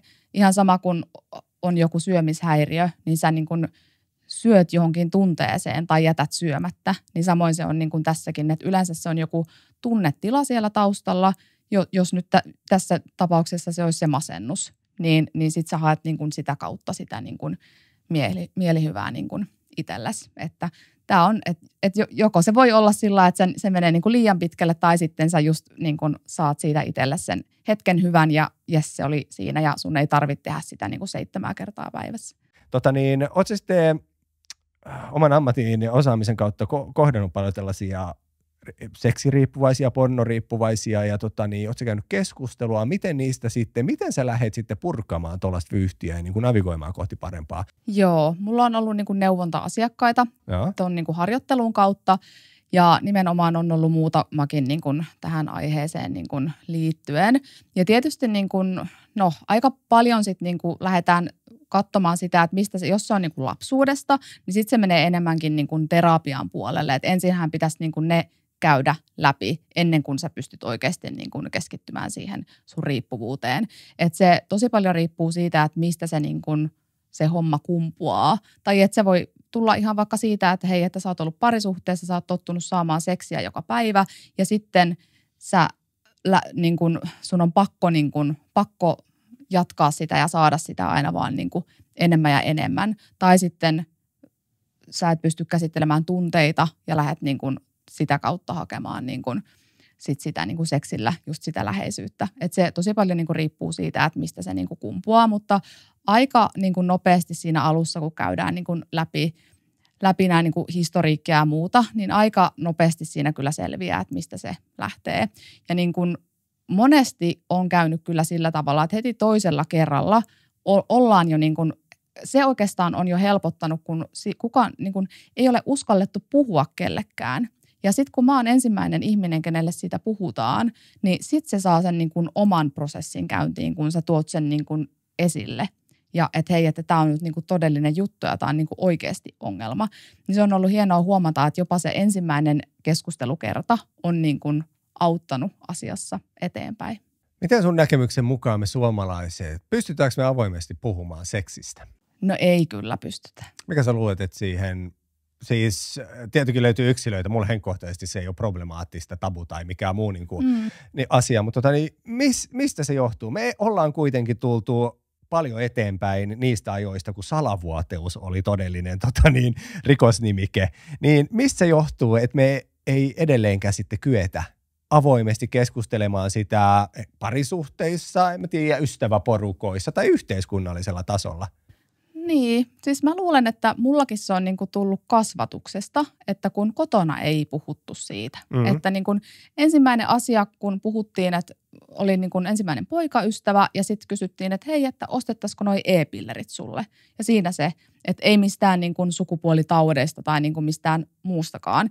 Että jotenkin se, että sitten, no mähän on kääntänyt sen nyt niin kuin ihan sitten päälaillaan itse, että mä niin kuin haluan ottaa selvää ja niin kuin en halua niin kuin tätä – asiaa niin kuin viedä tämmöistä puhumattomuuden kulttuuria niin kuin eteenpäin. Mm-hmm. Et niin kuin, ja musta tuntuu, että nykynuoret alkaa olla ehkä jo vähän avoimempia niin kuin tämän asian kanssa. Et niin kuin, näin mä ainakin niin kuin toivon. Mä tosiaan toivon, että se on niin. Tässäkin käy ilmi, miten iso vastuu kodilla ja kasvatuksella ja siellä kodin avoimella keskustelupiirillä on asian kanssa. Mä en tiedä, tuleeko se koskaan muuttumaan, että teini kokee ehkä vaivaantuneita. Mä toivon, että se tulisi muuttumaan, että kyllä mä mulla 14-vuotiaalle niin jo puhun, se, on puhunut seksistä.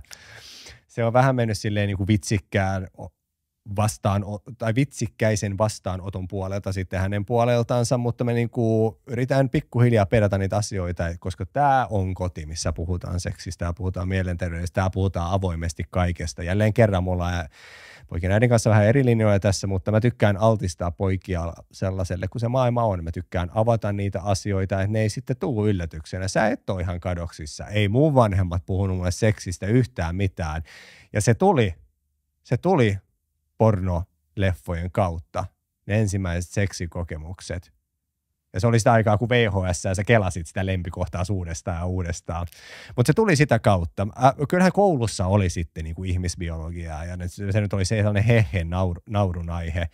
Mutta tota niin, miten sä luulet, että me saataisiin sitten iskostettua vanhempiin sellainen niin kuin avoimuuden piiri, että he juttelisivat sitten kotona siitä. Ja sillä tavalla normalisoisi, ja niin kuin sanoin, ei vie sitä puhumattomuuden kulttuuria eteenpäin seuraavalle sukupolvelle. Mm, no ehkä toi, kun puhuit siitä, että niin kun katsotaan jo nuorena pornovideoita, niin sehän aiheuttaa ongelmia sitten niin kuin myöhemmällä iällä, tai voi aiheuttaa, koska sä totut siihen, että se on semmoista niin kuin rajuu menoa, ja sitten kun sulla tulee se ensimmäinen seksikokemus, niin sit sä huomaat, että ei hitto, että ei tämä ollutkaan niinku semmoista, mitä mä niinku kuvittelin. Että jotenkin ö, on jo sit nuorella semmoinen olettamus, että, että nyt sen pitää olla niin kuin tämmöistä, ja sit sä et saa niin kuin siitä perusseksistä niin kuin mitään. Et jotenkin se, että niin kuin ehkä jopa ei nyt mitään niin kuin kauhukuvia piirellä, mutta jotenkin se, että mitä ongelmia se voi oikeasti niin kuin myöhemmin aiheuttaa, jos ei niin kuin niitä asioita niin kuin tuo esille. Ja nyt tähän otetaan esi- esimerkki, joka petaa varsinaista kysymystä. Ja mä lupasin, että mä kerron, tota, niin tämä tiisa siitä, että mä tuun kertomaan tämän. Koska se mun tota, niin, ää, ensimmäiset niin kuin seksikosketukset tuli tavallaan sen pornoleffan kautta. Ja just si- sitä, että se akti itsessään kestää siellä 20-25 minuuttia. Ja sitten kun mulla tuli ensimmäinen se- seksikokemus, okei, ymmärrettävästi nuorella miehellä nyt on kutiherkäs, koska se on ensimmäistä kertaa, sä oot siinä tilanteessa. Mutta se ei jäänyt mulla pelkästään siihen. Mulla on problemaattista ollut läpi elämän ennenaikainen ejakulaatio. Mä tulen uuden kumppanin kanssa aina alkuun. Mä tulen todella aikaisin. Se on niin se on todella mahtava tunne, kun sä ensimmäistä kertaa oot alasti sen tota, niin uuden kumppanin kanssa ja tota, niin saat lähellä. Ja tiedät, sä ei tarvitse olla niin kuin sukupuoliyhteydessä, vaan se, että sä niin kuin halaat tiukasti sitä ihmistä sun vieressä. Se on niin stimuloiva, se on niin upea ja se on niin kokonaisvaltaisesti voimaannuttava hetki, että mä kävin sit sitä ajatusprosessia, että minkä helvetin takia mulla sitten niin saman, tien, saman tien melkein lähtee, miksi se on niin herkäs. Ja tämä ei ole niin pysyvä ongelma mulla, heittomerkeissä ongelma, vaan että tota, niin se rupeaa ajan kanssa tasottumaan sitten tämän uuden kumppanin kanssa. Mutta se, että se tasottuu, niin se nyt ei käänny sitten siihen mitenkään, että se vastapuoli olisi vähemmän kiihottava tai seksissä olisi yhtään mitään vikaa mä saan kehitettyä sen kestävyyden sitten ajan kanssa. Parikymppisenä tämä oli ongelma mulle kumppani, itse asiassa poikien äidin kanssa – kun me ekaa kertaa päädyttiin harrastaa seksiä, mua hävetti niin saatanasti. Ja mä käytin sanoja, että mä ymmärrän, jos sä et halua jatkaa meidän suhdetta pidemmälle. Mä olin, ja mä olin jo päätä pahkaa rakastumassa poikien äitiin, niin mä ajattelin, että ei vittu, jos tämä menee tämän takia nyt perseelleen, mutta sitten siitä päästiin eteenpäin, asiassa keskusteltiin. Ja se oli ensimmäinen mun kosketus sellaiseen niin kuin avoimeen kulttuuriin. Mä voin puhua tästä, että okei, toi ei, reago, toi ei juokse karkuun, se ei reagoikaan niin kuin naurain, että ehkä tämä ei olekaan niin iso juttu, mutta sitten populaarikulttuurissa, ja siis älkää nyt käsittäkö väärin, kyllä mäkin nauran niin kuin hy- hyvälle premature ejaculation vitsille. Ja niin kuin mä pystyn nauramaan sille asioille niin kuin mun neuropsykiatrisillekin jutuille. Mutta niin silloin alkuun se vaikutti tosi paljon mun seksikäyttäytymiseen. Ja se on ehkä niin kuin ajan kanssa muovautunut, anteeksi mä tuun siihen kysymykseen, ajan kanssa muovautunut kanssa pääsyyksi siihen, miksi mä en niin kuin harrasta irtosuhteita yhden illan juttuja. Ensinnäkään, koska ne ei tunnepuolella, ne ei anna mulle yhtään mitään. Mä voin olla kuukausi ilman, tietysti seksiä toisen ihmisen kanssa, koska se on niin paljon parempaa, kun on tunnepuolikin pelissä. Mutta yksi iso tekijä on ollut silloin nuorempana, ja mikä on varmaan muovautunut sitten vähän niin kuin mulle sellaiseksi standardiksi heittomerkeissä, että mä en tee sitä vaan koska siitä maalautuu sellainen kuva, mitä mä en halua välittää tai saattaa jonkun ihmisen tietoisuuteen. Varsinkaan sille yhden illan juttu kontekstissa, koska sittenhän se nauru leviää kulovalkean tavoin, että tosta ei ole mihinkään.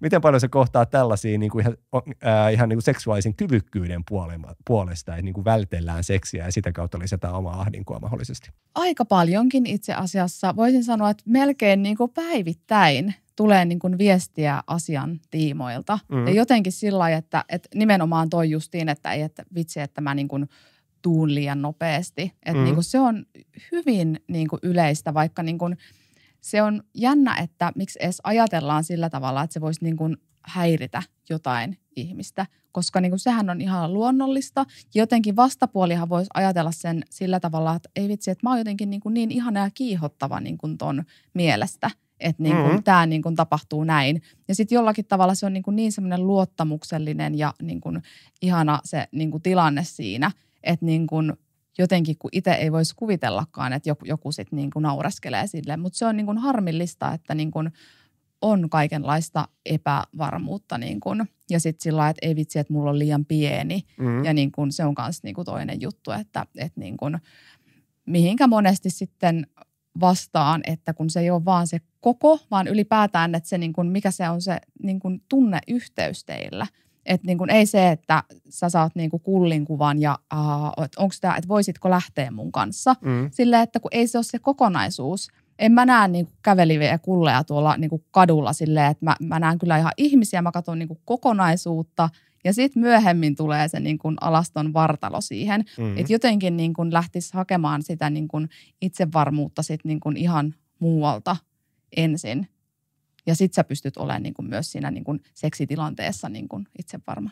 Tuo koko asia on varmaan sellainen, että se tuskin on niin kuin ihan lähiaikoina poistumassa keskustelu, keskustelualueelta. Ja ja tota niin, kyllähän miehet varsinkin on itsetietoisia, että jos on keskimääräistä vaikka lyhyempi, mutta just toi, että millainen se yhteys on, miten sä kannat itse sen toisen silmissä alastomana, sillä on tosi iso vaikutus. Ja samaan syssyyn sanotaan, että se, miten sut vastaanotetaan kanssa, että ei se koko määrittele, määrittele sit, sitä ihan kaikkea, mutta sekin tulee va- valtaosin ehkä luulisin sieltä pornon puolelta, koska eihän me nyt siellä niin kuin pienimunaisia miehiä hirveästi nähdä. Niin, että se ei ole ehkä sellaista myyvää. Vähän kuin, että et sä nyt mene kehorakennusshowhun katsomaan oikeastaan niitä, jotka treenaa natuna, vaan kyllä sä meet katsoa niitä Jay Cutler, Ronnie Coleman pihasaunan kokoisia äijiä, jotka näyttää siltä, että kun ne niin kuin avaa suunsa, niin se karjunta on jotain ihan jäätävää. Niin, ja se mitä mä ajattelin, että, että voiko mä tehdä pornoa, kun mulla on pienet rinnat, koska mm. niillä kaikilla pornotähdillä on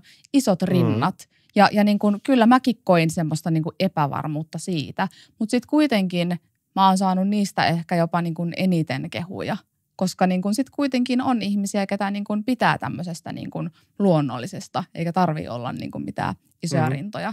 Et niin kuin siinäkin meni, tosi nopeasti meni siihen, että ei vitsi, että ei mun tarvi miellyttää ketään. Että mitä enemmän mä oon niin kuin oma itseni, niin sitä enemmän on tykätty sit niin kuin, kun on tehnyt materiaalia.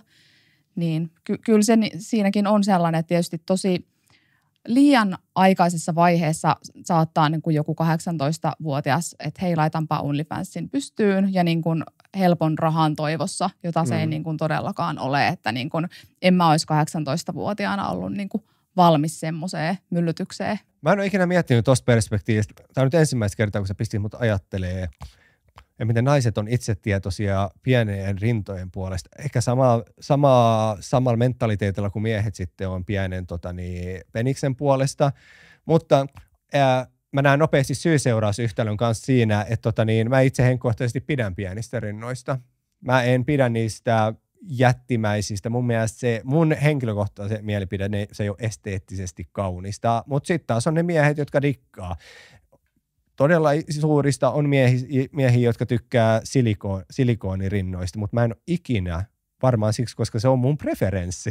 mä en ole miettinyt sitä, tiedätkö, että toi saattaa kokea epävarmuutta, koska se rintavaruus ei nyt vastaa jotain tie, tiettyä. Ja tota niin, mä otan vielä nopein tonne vähän taaksepäin. Mullakin oli kumppani, kun mä ekan kerran sitten otin tänne. Meillä oli yhteinen ensimmäinen seksikokemus.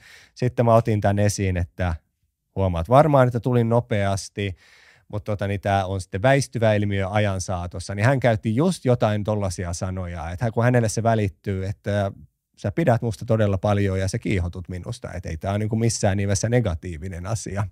Joo, kyllä. Ja sä, niin, eli sä oot kohdannut sen justiin niin kuin tolla tavalla niin kuin hyvin ja se on niin kuin tosi hienoa ja noihan sen niin kuin pitäisikin olla. Sen pitäisi mennä noin ja joo mä kohtain sen hyvin. Nyt kun mä mietin äkki sieltä taaksepäin, mä en tiedä onko kukaan ikinä suoraan päin kasvoja ainakaan na- nauranut, nauranut sille.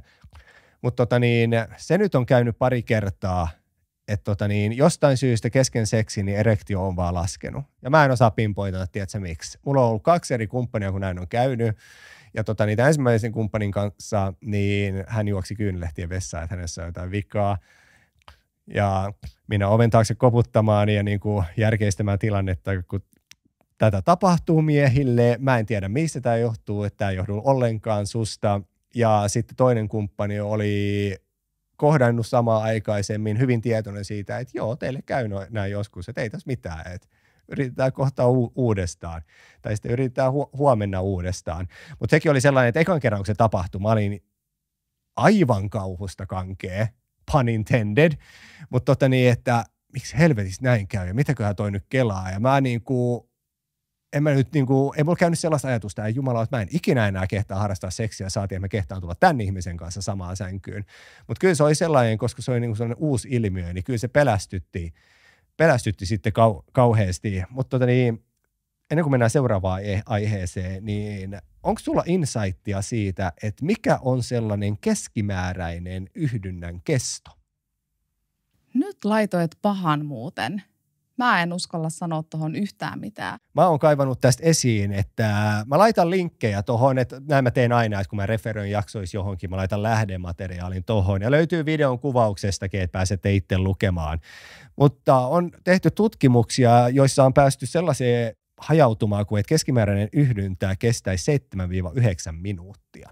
Okei. Okay. Mä olisin, Eikä. Niin, olisin veikannut, että lyhempään kuitenkin, mm. koska niin kuin, ei se oikeasti ole mitään niin kuin tuntien jyystöä. Ei se ole tuntien jyystöä. Varmasti löytyy ihmisiä, jotka nauttii siitä, mutta mä en, mä en edes itse näkisi nauttivan, että tuntikaupalla tai tunnin tai kaksi jyystäisi. Mä en niin kuin näe sitä tautintoa. Ja siis tässä on niin kuin ihan nyt, otetaan nopea esimerkki, fysiologisia syytäkin. Ja tämä ei ole mitään nyt niin kuin miehistä egoilua, mutta yhden kumppanin kanssa silloin meidän al- suhteen alkuaikoina meillä oli kuusi yhdyntäkertaa yhden päivän aikana. Ja ne kuusi yhdyntäkertaa johti suureen määrään kitkaa. Ja se suuri määrä kitkaa johti niin kuin pintakerrosvaurioihin sitten elimessä. Ja se ei todellakaan ollut mitään nautinnollista hommaa se viimeinen kerta. Että kyllä sä ajoit sen homman maaliin, koska sä olit jo siinä.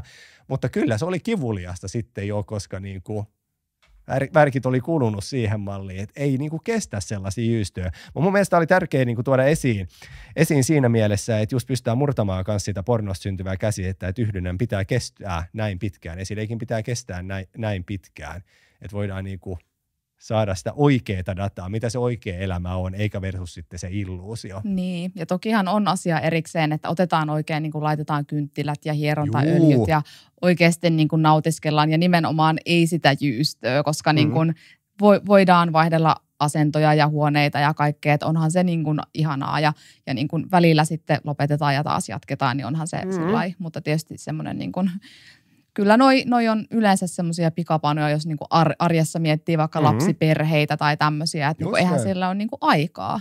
Ei siellä ole aikaa ja niinku seksi se voi määritelmällisesti ja kuvainnollisesti se voi vaihella just niin kuin, äh, voinko mä sanotaan? No mä sanon nyt ku, ku, kuitenkin, silloin kun mä olin poikien äidin kanssa, asuttiin samassa kampassa, meillä on lapsia, kyllä ne vaan piti löytää ne pienet hetket, tietsä. Mennään viikkaamaan pyykkiä. Ja sitten siitä otat, otat pikaset, kun ovi on lukossa. Et ei ole aina sellaista. Ja sitten välillä oli ihanaa, että on just se kynttiaika, voi hieroa toista, voi aloittaa se yhdynnä, voi pitää just pienen paussin, voi ihan vaan siinä halailla välissä, että se ei ole vaan niinku sitä eläimell- eläimellistä jyystöä. Sillekin on paikkansa aikansa, että joskus se on just sitä, mitä lääkärit määräsi ja niinku sitä haluaa. Et nyt te unohdetaan se romanttinen puoli, että nyt mä haluan vaan eläimellisesti sua ja se on mahtavaa, että se määritelmällisesti voi muuttua ja tota, niin miten sä näet, onko se tervettäkin, että se kokee sellaisia erilaisia niinku toteutustapoja?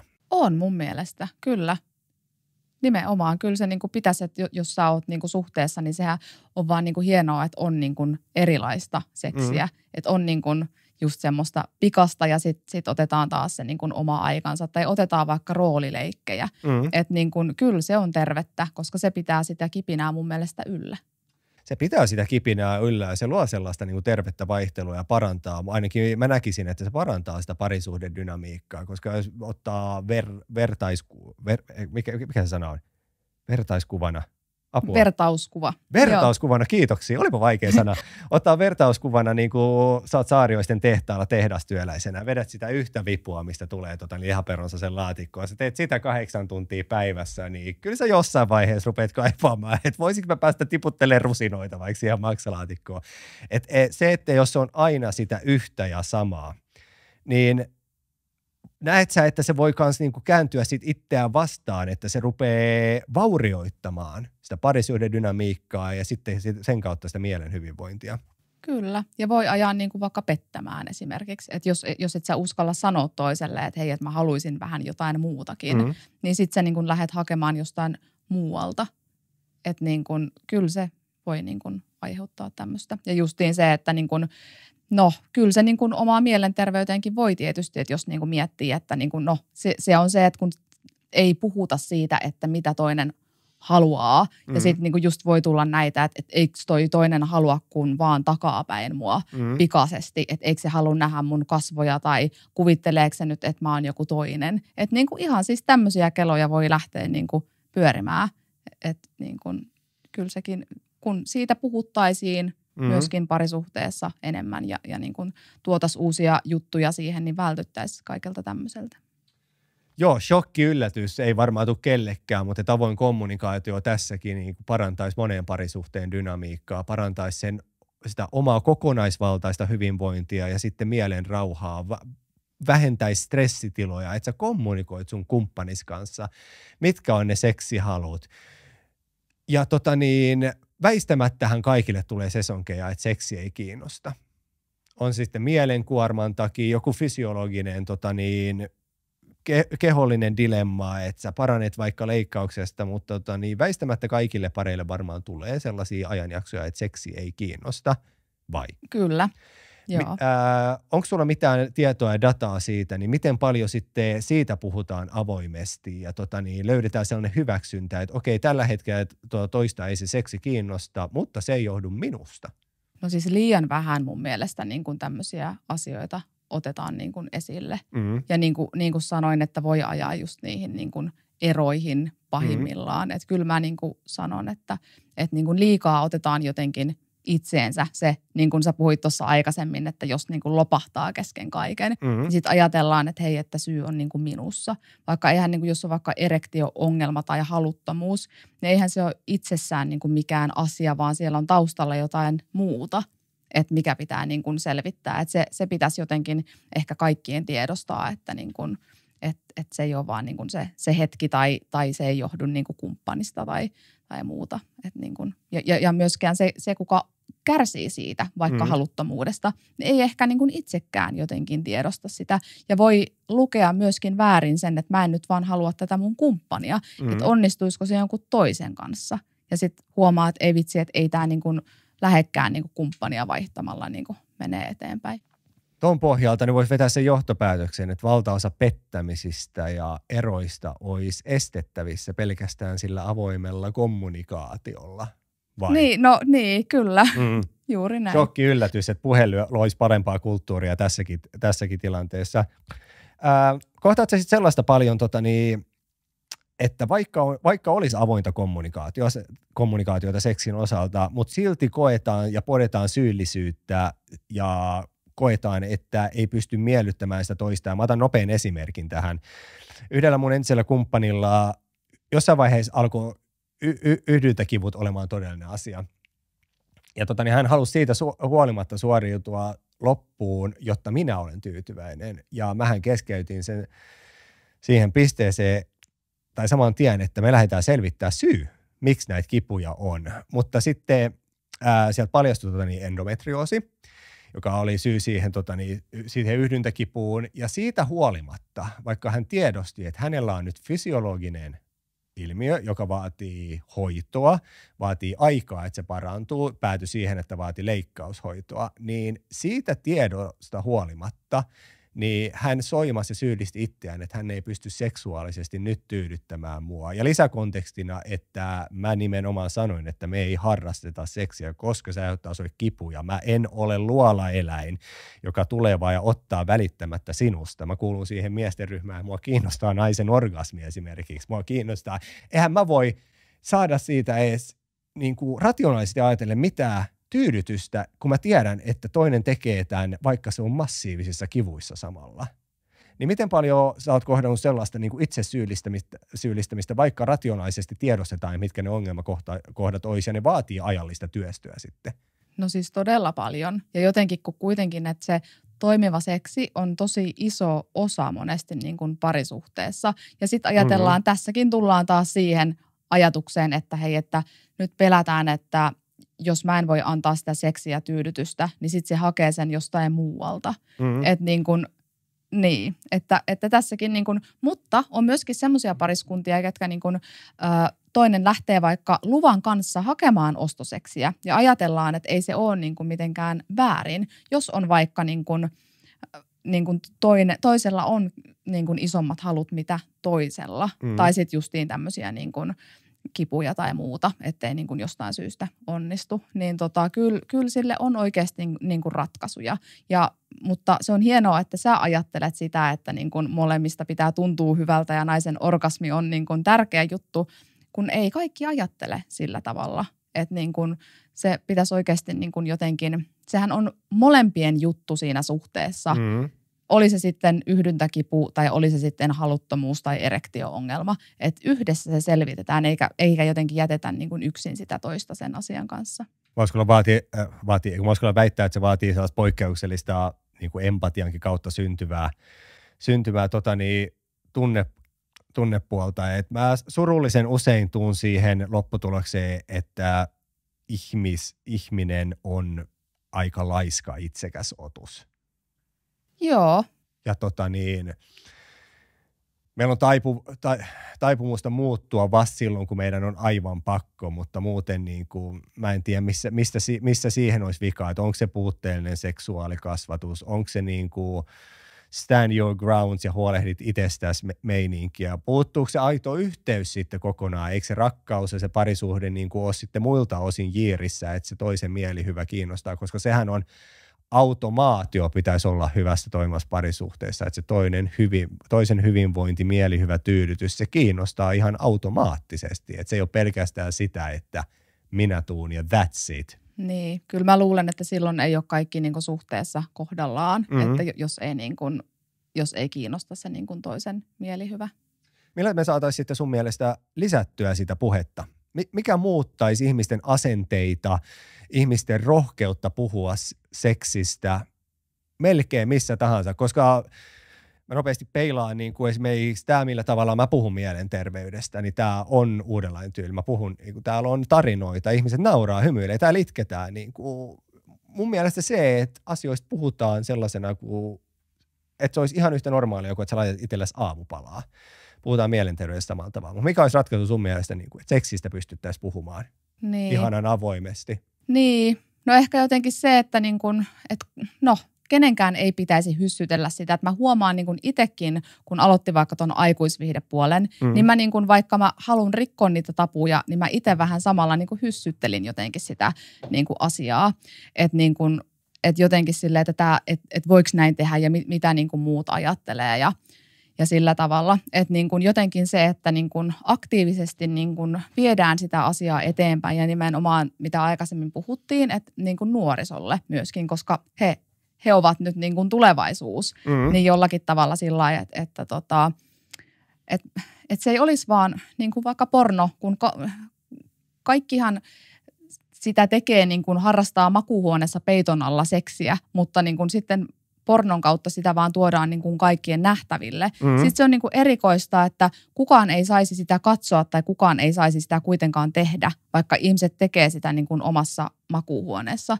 Että niin kuin tämmöinen niin kuin hyssyttelykulttuuri. Ja mm-hmm. tuodaan niin kuin kahvipöytiin niin kuin näitä keskusteluita. Että niin kuin, joo, sillä, että täytyy sanoa semmoinen esimerkki mun tota, edellisestä työpaikasta.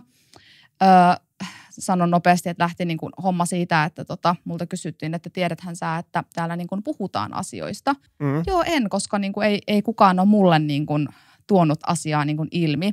Eli on niin kuin keskusteltu keskenään siellä kahvipöydissä, että, että mitähän mä nyt on alkanut pornoa tekemään, mutta kukaan ei niin kuin kysynyt multa asiasta. Mm.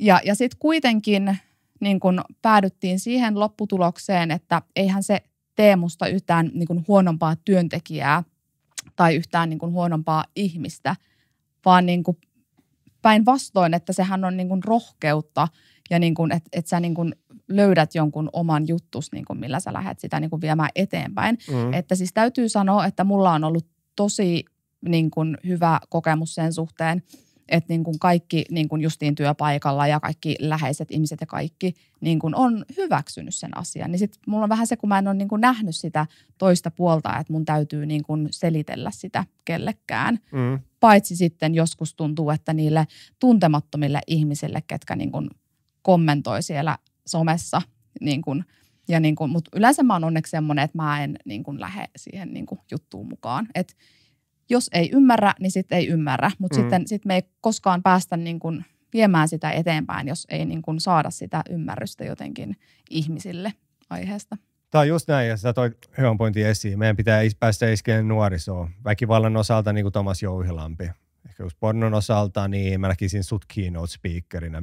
Mä voin puhua mielenterveydestä, mutta me päästään rikkomaan sitä huonoa opettu, opettu käytösmallia ja sehän lähtee siinä, että me opetetaan nuorisoa. Sitten joku päivä ne on ollut muutoksen tiellä, ne voi kantaa sitten sanomaan sitten sille seuraavalle, seuraavalle sukupolvelle. Tuo oli ihan ajatus, mitä sanoit, että ihmiset sen sijaan, että puhuttaisiin säästä ja siitä Kreikan lomasta, mistä just oltiin teepöydässä, niin voidaan puhua vaikka mielenterveydestä ja pornosta. Mä voin rikkoa tässä nyt sitä niin kuin puhumattomuuden viittaa. Mä olen katsonut pornoa läpi aiku, aikuisia, niin mä olen myös törmännyt ja katsonut sun materiaalia Huomaatteko te, miten vaivaannuttavaa tästä asiasta on puhua? Oletko vaivaantunut siitä, että mä oon nähnyt sun pornovideoita? Ei, en, vaan se on niinku mm. todella hienoa. Se on mm. oikeasti hienoa, että sä sanot sen suoraan, koska yleensä jos joku tulee mulle puhumaan jossain tuolla vaikka tapahtumissa, niin sitten se on ensimmäisenä, sanotaan, että hei, että mä oon katsonut sun TikTok-videoita. Että eihän sitä tietenkään niin kuin tuoda julki, että missä oikeasti ollaan. Voihan se olla, että on TikTokissa törmännyt, mm. mutta että niin kuin harvoin sitä oikeasti sanotaan niin kuin suoraan että niin kuin on, ollaan katsottu. Mm. Muuta kuin ihan hirveässä kaatokännissä. Joo, se on jännää, miten häpeä karisee sen alkoholin myötä, mutta häpeäkin on sellainen kulttuuri, mihin liittyy sitten just haavoi, haavoittuvuus ja kaikki tällainen, mikä niin kuin lähtökohtaisesti koetaan negatiivisesti, joka on normaaleja, normaaleja, normaaleja asioita meidän ihmisten elämässä, mutta meidän pitää pystyä, meidän jumalauta pitää pystyä luopumaan siitä häpeän tunteesta, joka saatanan käänteessä koskee monia osa-alueita meidän elämässä, jotta me voidaan. Mä kuulen, en nyt viikoittain, mutta mä kuulen kuukausittain eri ihmisiltä todella mahtavia ajatuksia, ideoita. Mä haluaisin lähteä tekemään tällaista. Okei, tuo kuulostaa upealta. Ota, mene ja lennä ja tee. No mutta kun, mitä jos se epäonnistuu ja sitten niin kuin häve, hävettää.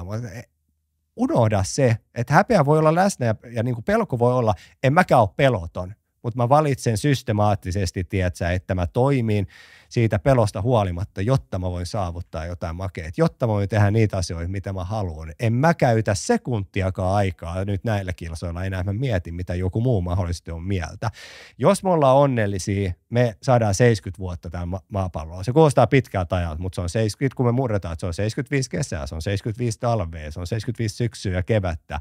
Ja mä oon jo yli puoli välissä. Mä en halua hukata en sekuntiakaan, että mä elän elämääni jonkun muun ohjeistuksen mukaan tai et en tee niitä asioita, mitkä tekee mut onnelliseksi. Mä en halua ikinä, että mun kuolinvuoteella sanat, mitä jos kaikuu mun pääkopassa. Koska tästähän mä kohtasin paljon tästä formaatista, että mitä kun kun lähdet puhumaan mielenterveydestä, miten sun työnhaku tulevaisuudessa, että sä mieti, mitä muut ajattelee susta, en kumpaakaan en hetkeäkään. Mä tiesin, että se mun nykyisen tilanteen pahoinvointi on ihan sietämätön, kun mä oon pitänyt turpani kiinni 30 plus vuotta. Mun on pakko tehdä jotain muutosta. Ja shokki yllätys. Avoimuus on luonut lisää avoimuutta ja lisää, lisää hyvää puhetta.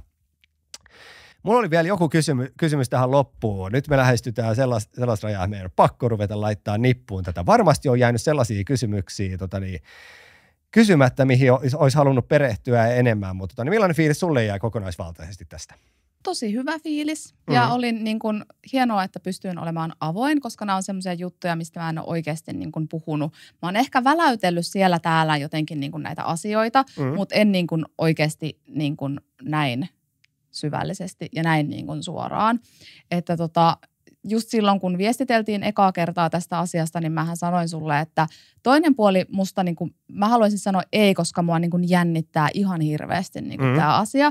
Mutta toinen puoli on se, että mä haluan lähteä mukaan, koska nämä on niin kuin tärkeitä aiheita. Mm. Ja mä koen myös, että mä haluan niin kuin antaa vertaistukea. Ja ehkä just se, niin kuin, mitä säkin toit esille, että on paljon helpompaa olla, kun on avoin ja niin kuin puhuu. Ja niin kuin ihan sama, mitä joku muu nyt niin kuin siitä ajattelee. Mm-hmm. Mutta niin kuin, kyllä avoimuus kannatti tässäkin tilanteessa. Se on tosi makeeta kuulla ja iso kiitos sulle, että sä suostuit tulee tänne. Oli tosi kunnia ja etuoikeus jakaa sun kanssa tällainen pieni hetki ja juttu meillä olisi riittänyt pidemmäksi aikaa varmasti. Se tässä podissa vähän on tota, niin ongelmallista hyvässä mielessä, että tota, niin juttu riittäisi aina paljon pidemmälle ja niin kun se on tosi nastaa, että tänne tulee sun kaltaisia tyyppejä, jotka avoimesti sitten luo sitä vertaistukea. Riisuuden muurit on esimerkillisiä, että tonne katselijoille ja kuuntelijoille ja luo sitten sillä omalla esimerkillään parempaa, koska niinhän me voidaan ainoastaan vaikuttaa asioihin, vaikka yksi ihminen kerrallaan. Tuodaan taas yksi tarina, taas yksi tarina, taas yksi tarina. Ja pikkuhiljaa ajetaan sitä muutosta sisäänpäin. Mutta jossain vaiheessa niin kuin ajatellaan sille romanttisesti, että tota, niin 15-20 vuotta eteenpäin me edetään mielenterveyden kanssa puhumiseen osalta ihan erilaista maailmaa. Me edetään, ihmiset puhuu avoimesti seks, seksistä kaikkialla missä tahansa, sukupolvien yli kenen kanssa tahansa. Se on tosi makea ajatus. Kyllä.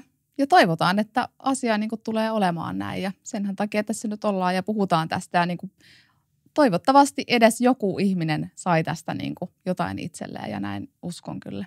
Kyllä mä uskon, että tässä saa moni ihminen itselleen työkaluja. Hei, tota, niin ennen kuin laittaa podi, podi nippuun, niin pari vakiokyssäriä loppuun. Kun miettii sitä kaikkea, mitä sä oot käynyt läpi ja millaisen matkan sä oot tehnyt itsesi kanssa, ongelmia kohdannut, kysymysten kanssa taisteluun, niin tykkäät sä itsestäsi? Kyllä mä tykkään. Ja se oli siinä pähkinänkuoressa tosi ihana kuulla ja tosi makeeta. Itsestään pitää tykätä. Se hyvinvointi lähtee sieltä sisältä. Jos sä et pidä itsestäsi, sä et voi rakastaa ketään muuta aidosti. Sä et voi olla empaattinen ihminen, koska kaikki hyvinvointi se lähtee aina itsestään. Pistäkää itteenne nippuja ja kondikseen Oike, oikeasti, me kannustetaan siihen.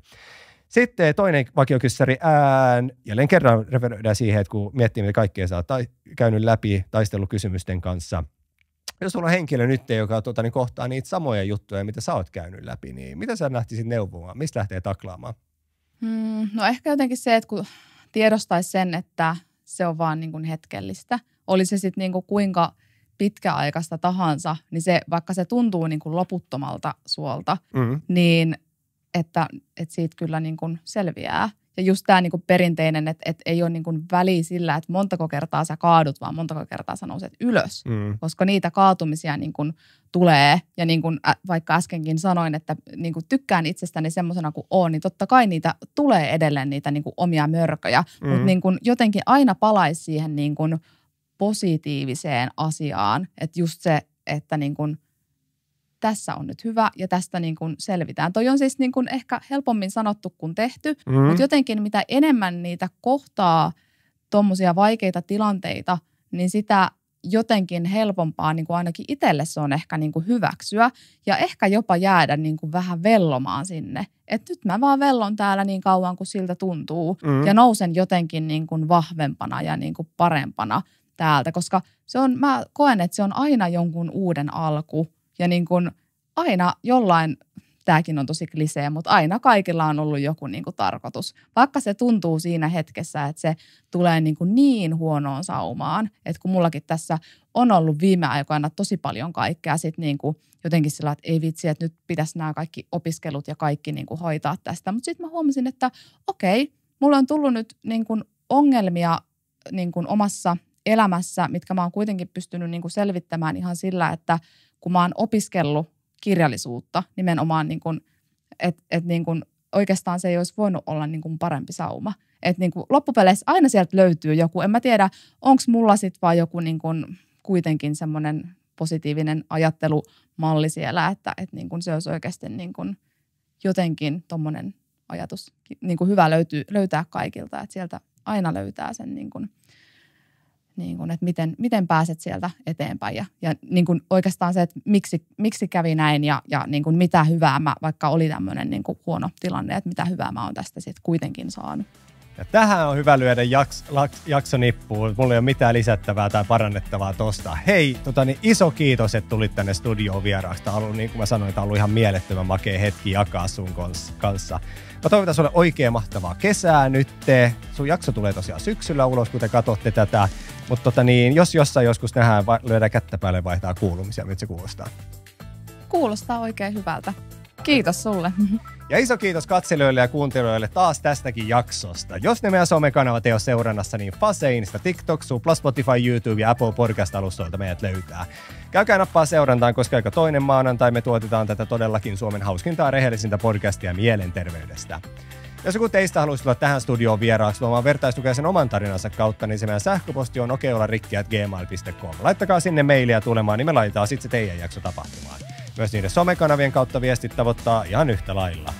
Kahden viikon päästä ja ka, anteeksi, kahden viikon päästä taas jatketaan. Silloin uusi vieras studiossa, uusi tarina kuunneltavana. Siihen asti, kuten aina, olkaa ihmisiä ihmisille, voikaa hyvin ja muistakaa, että on täysin okei okay olla rikki. Takko hei, morjens!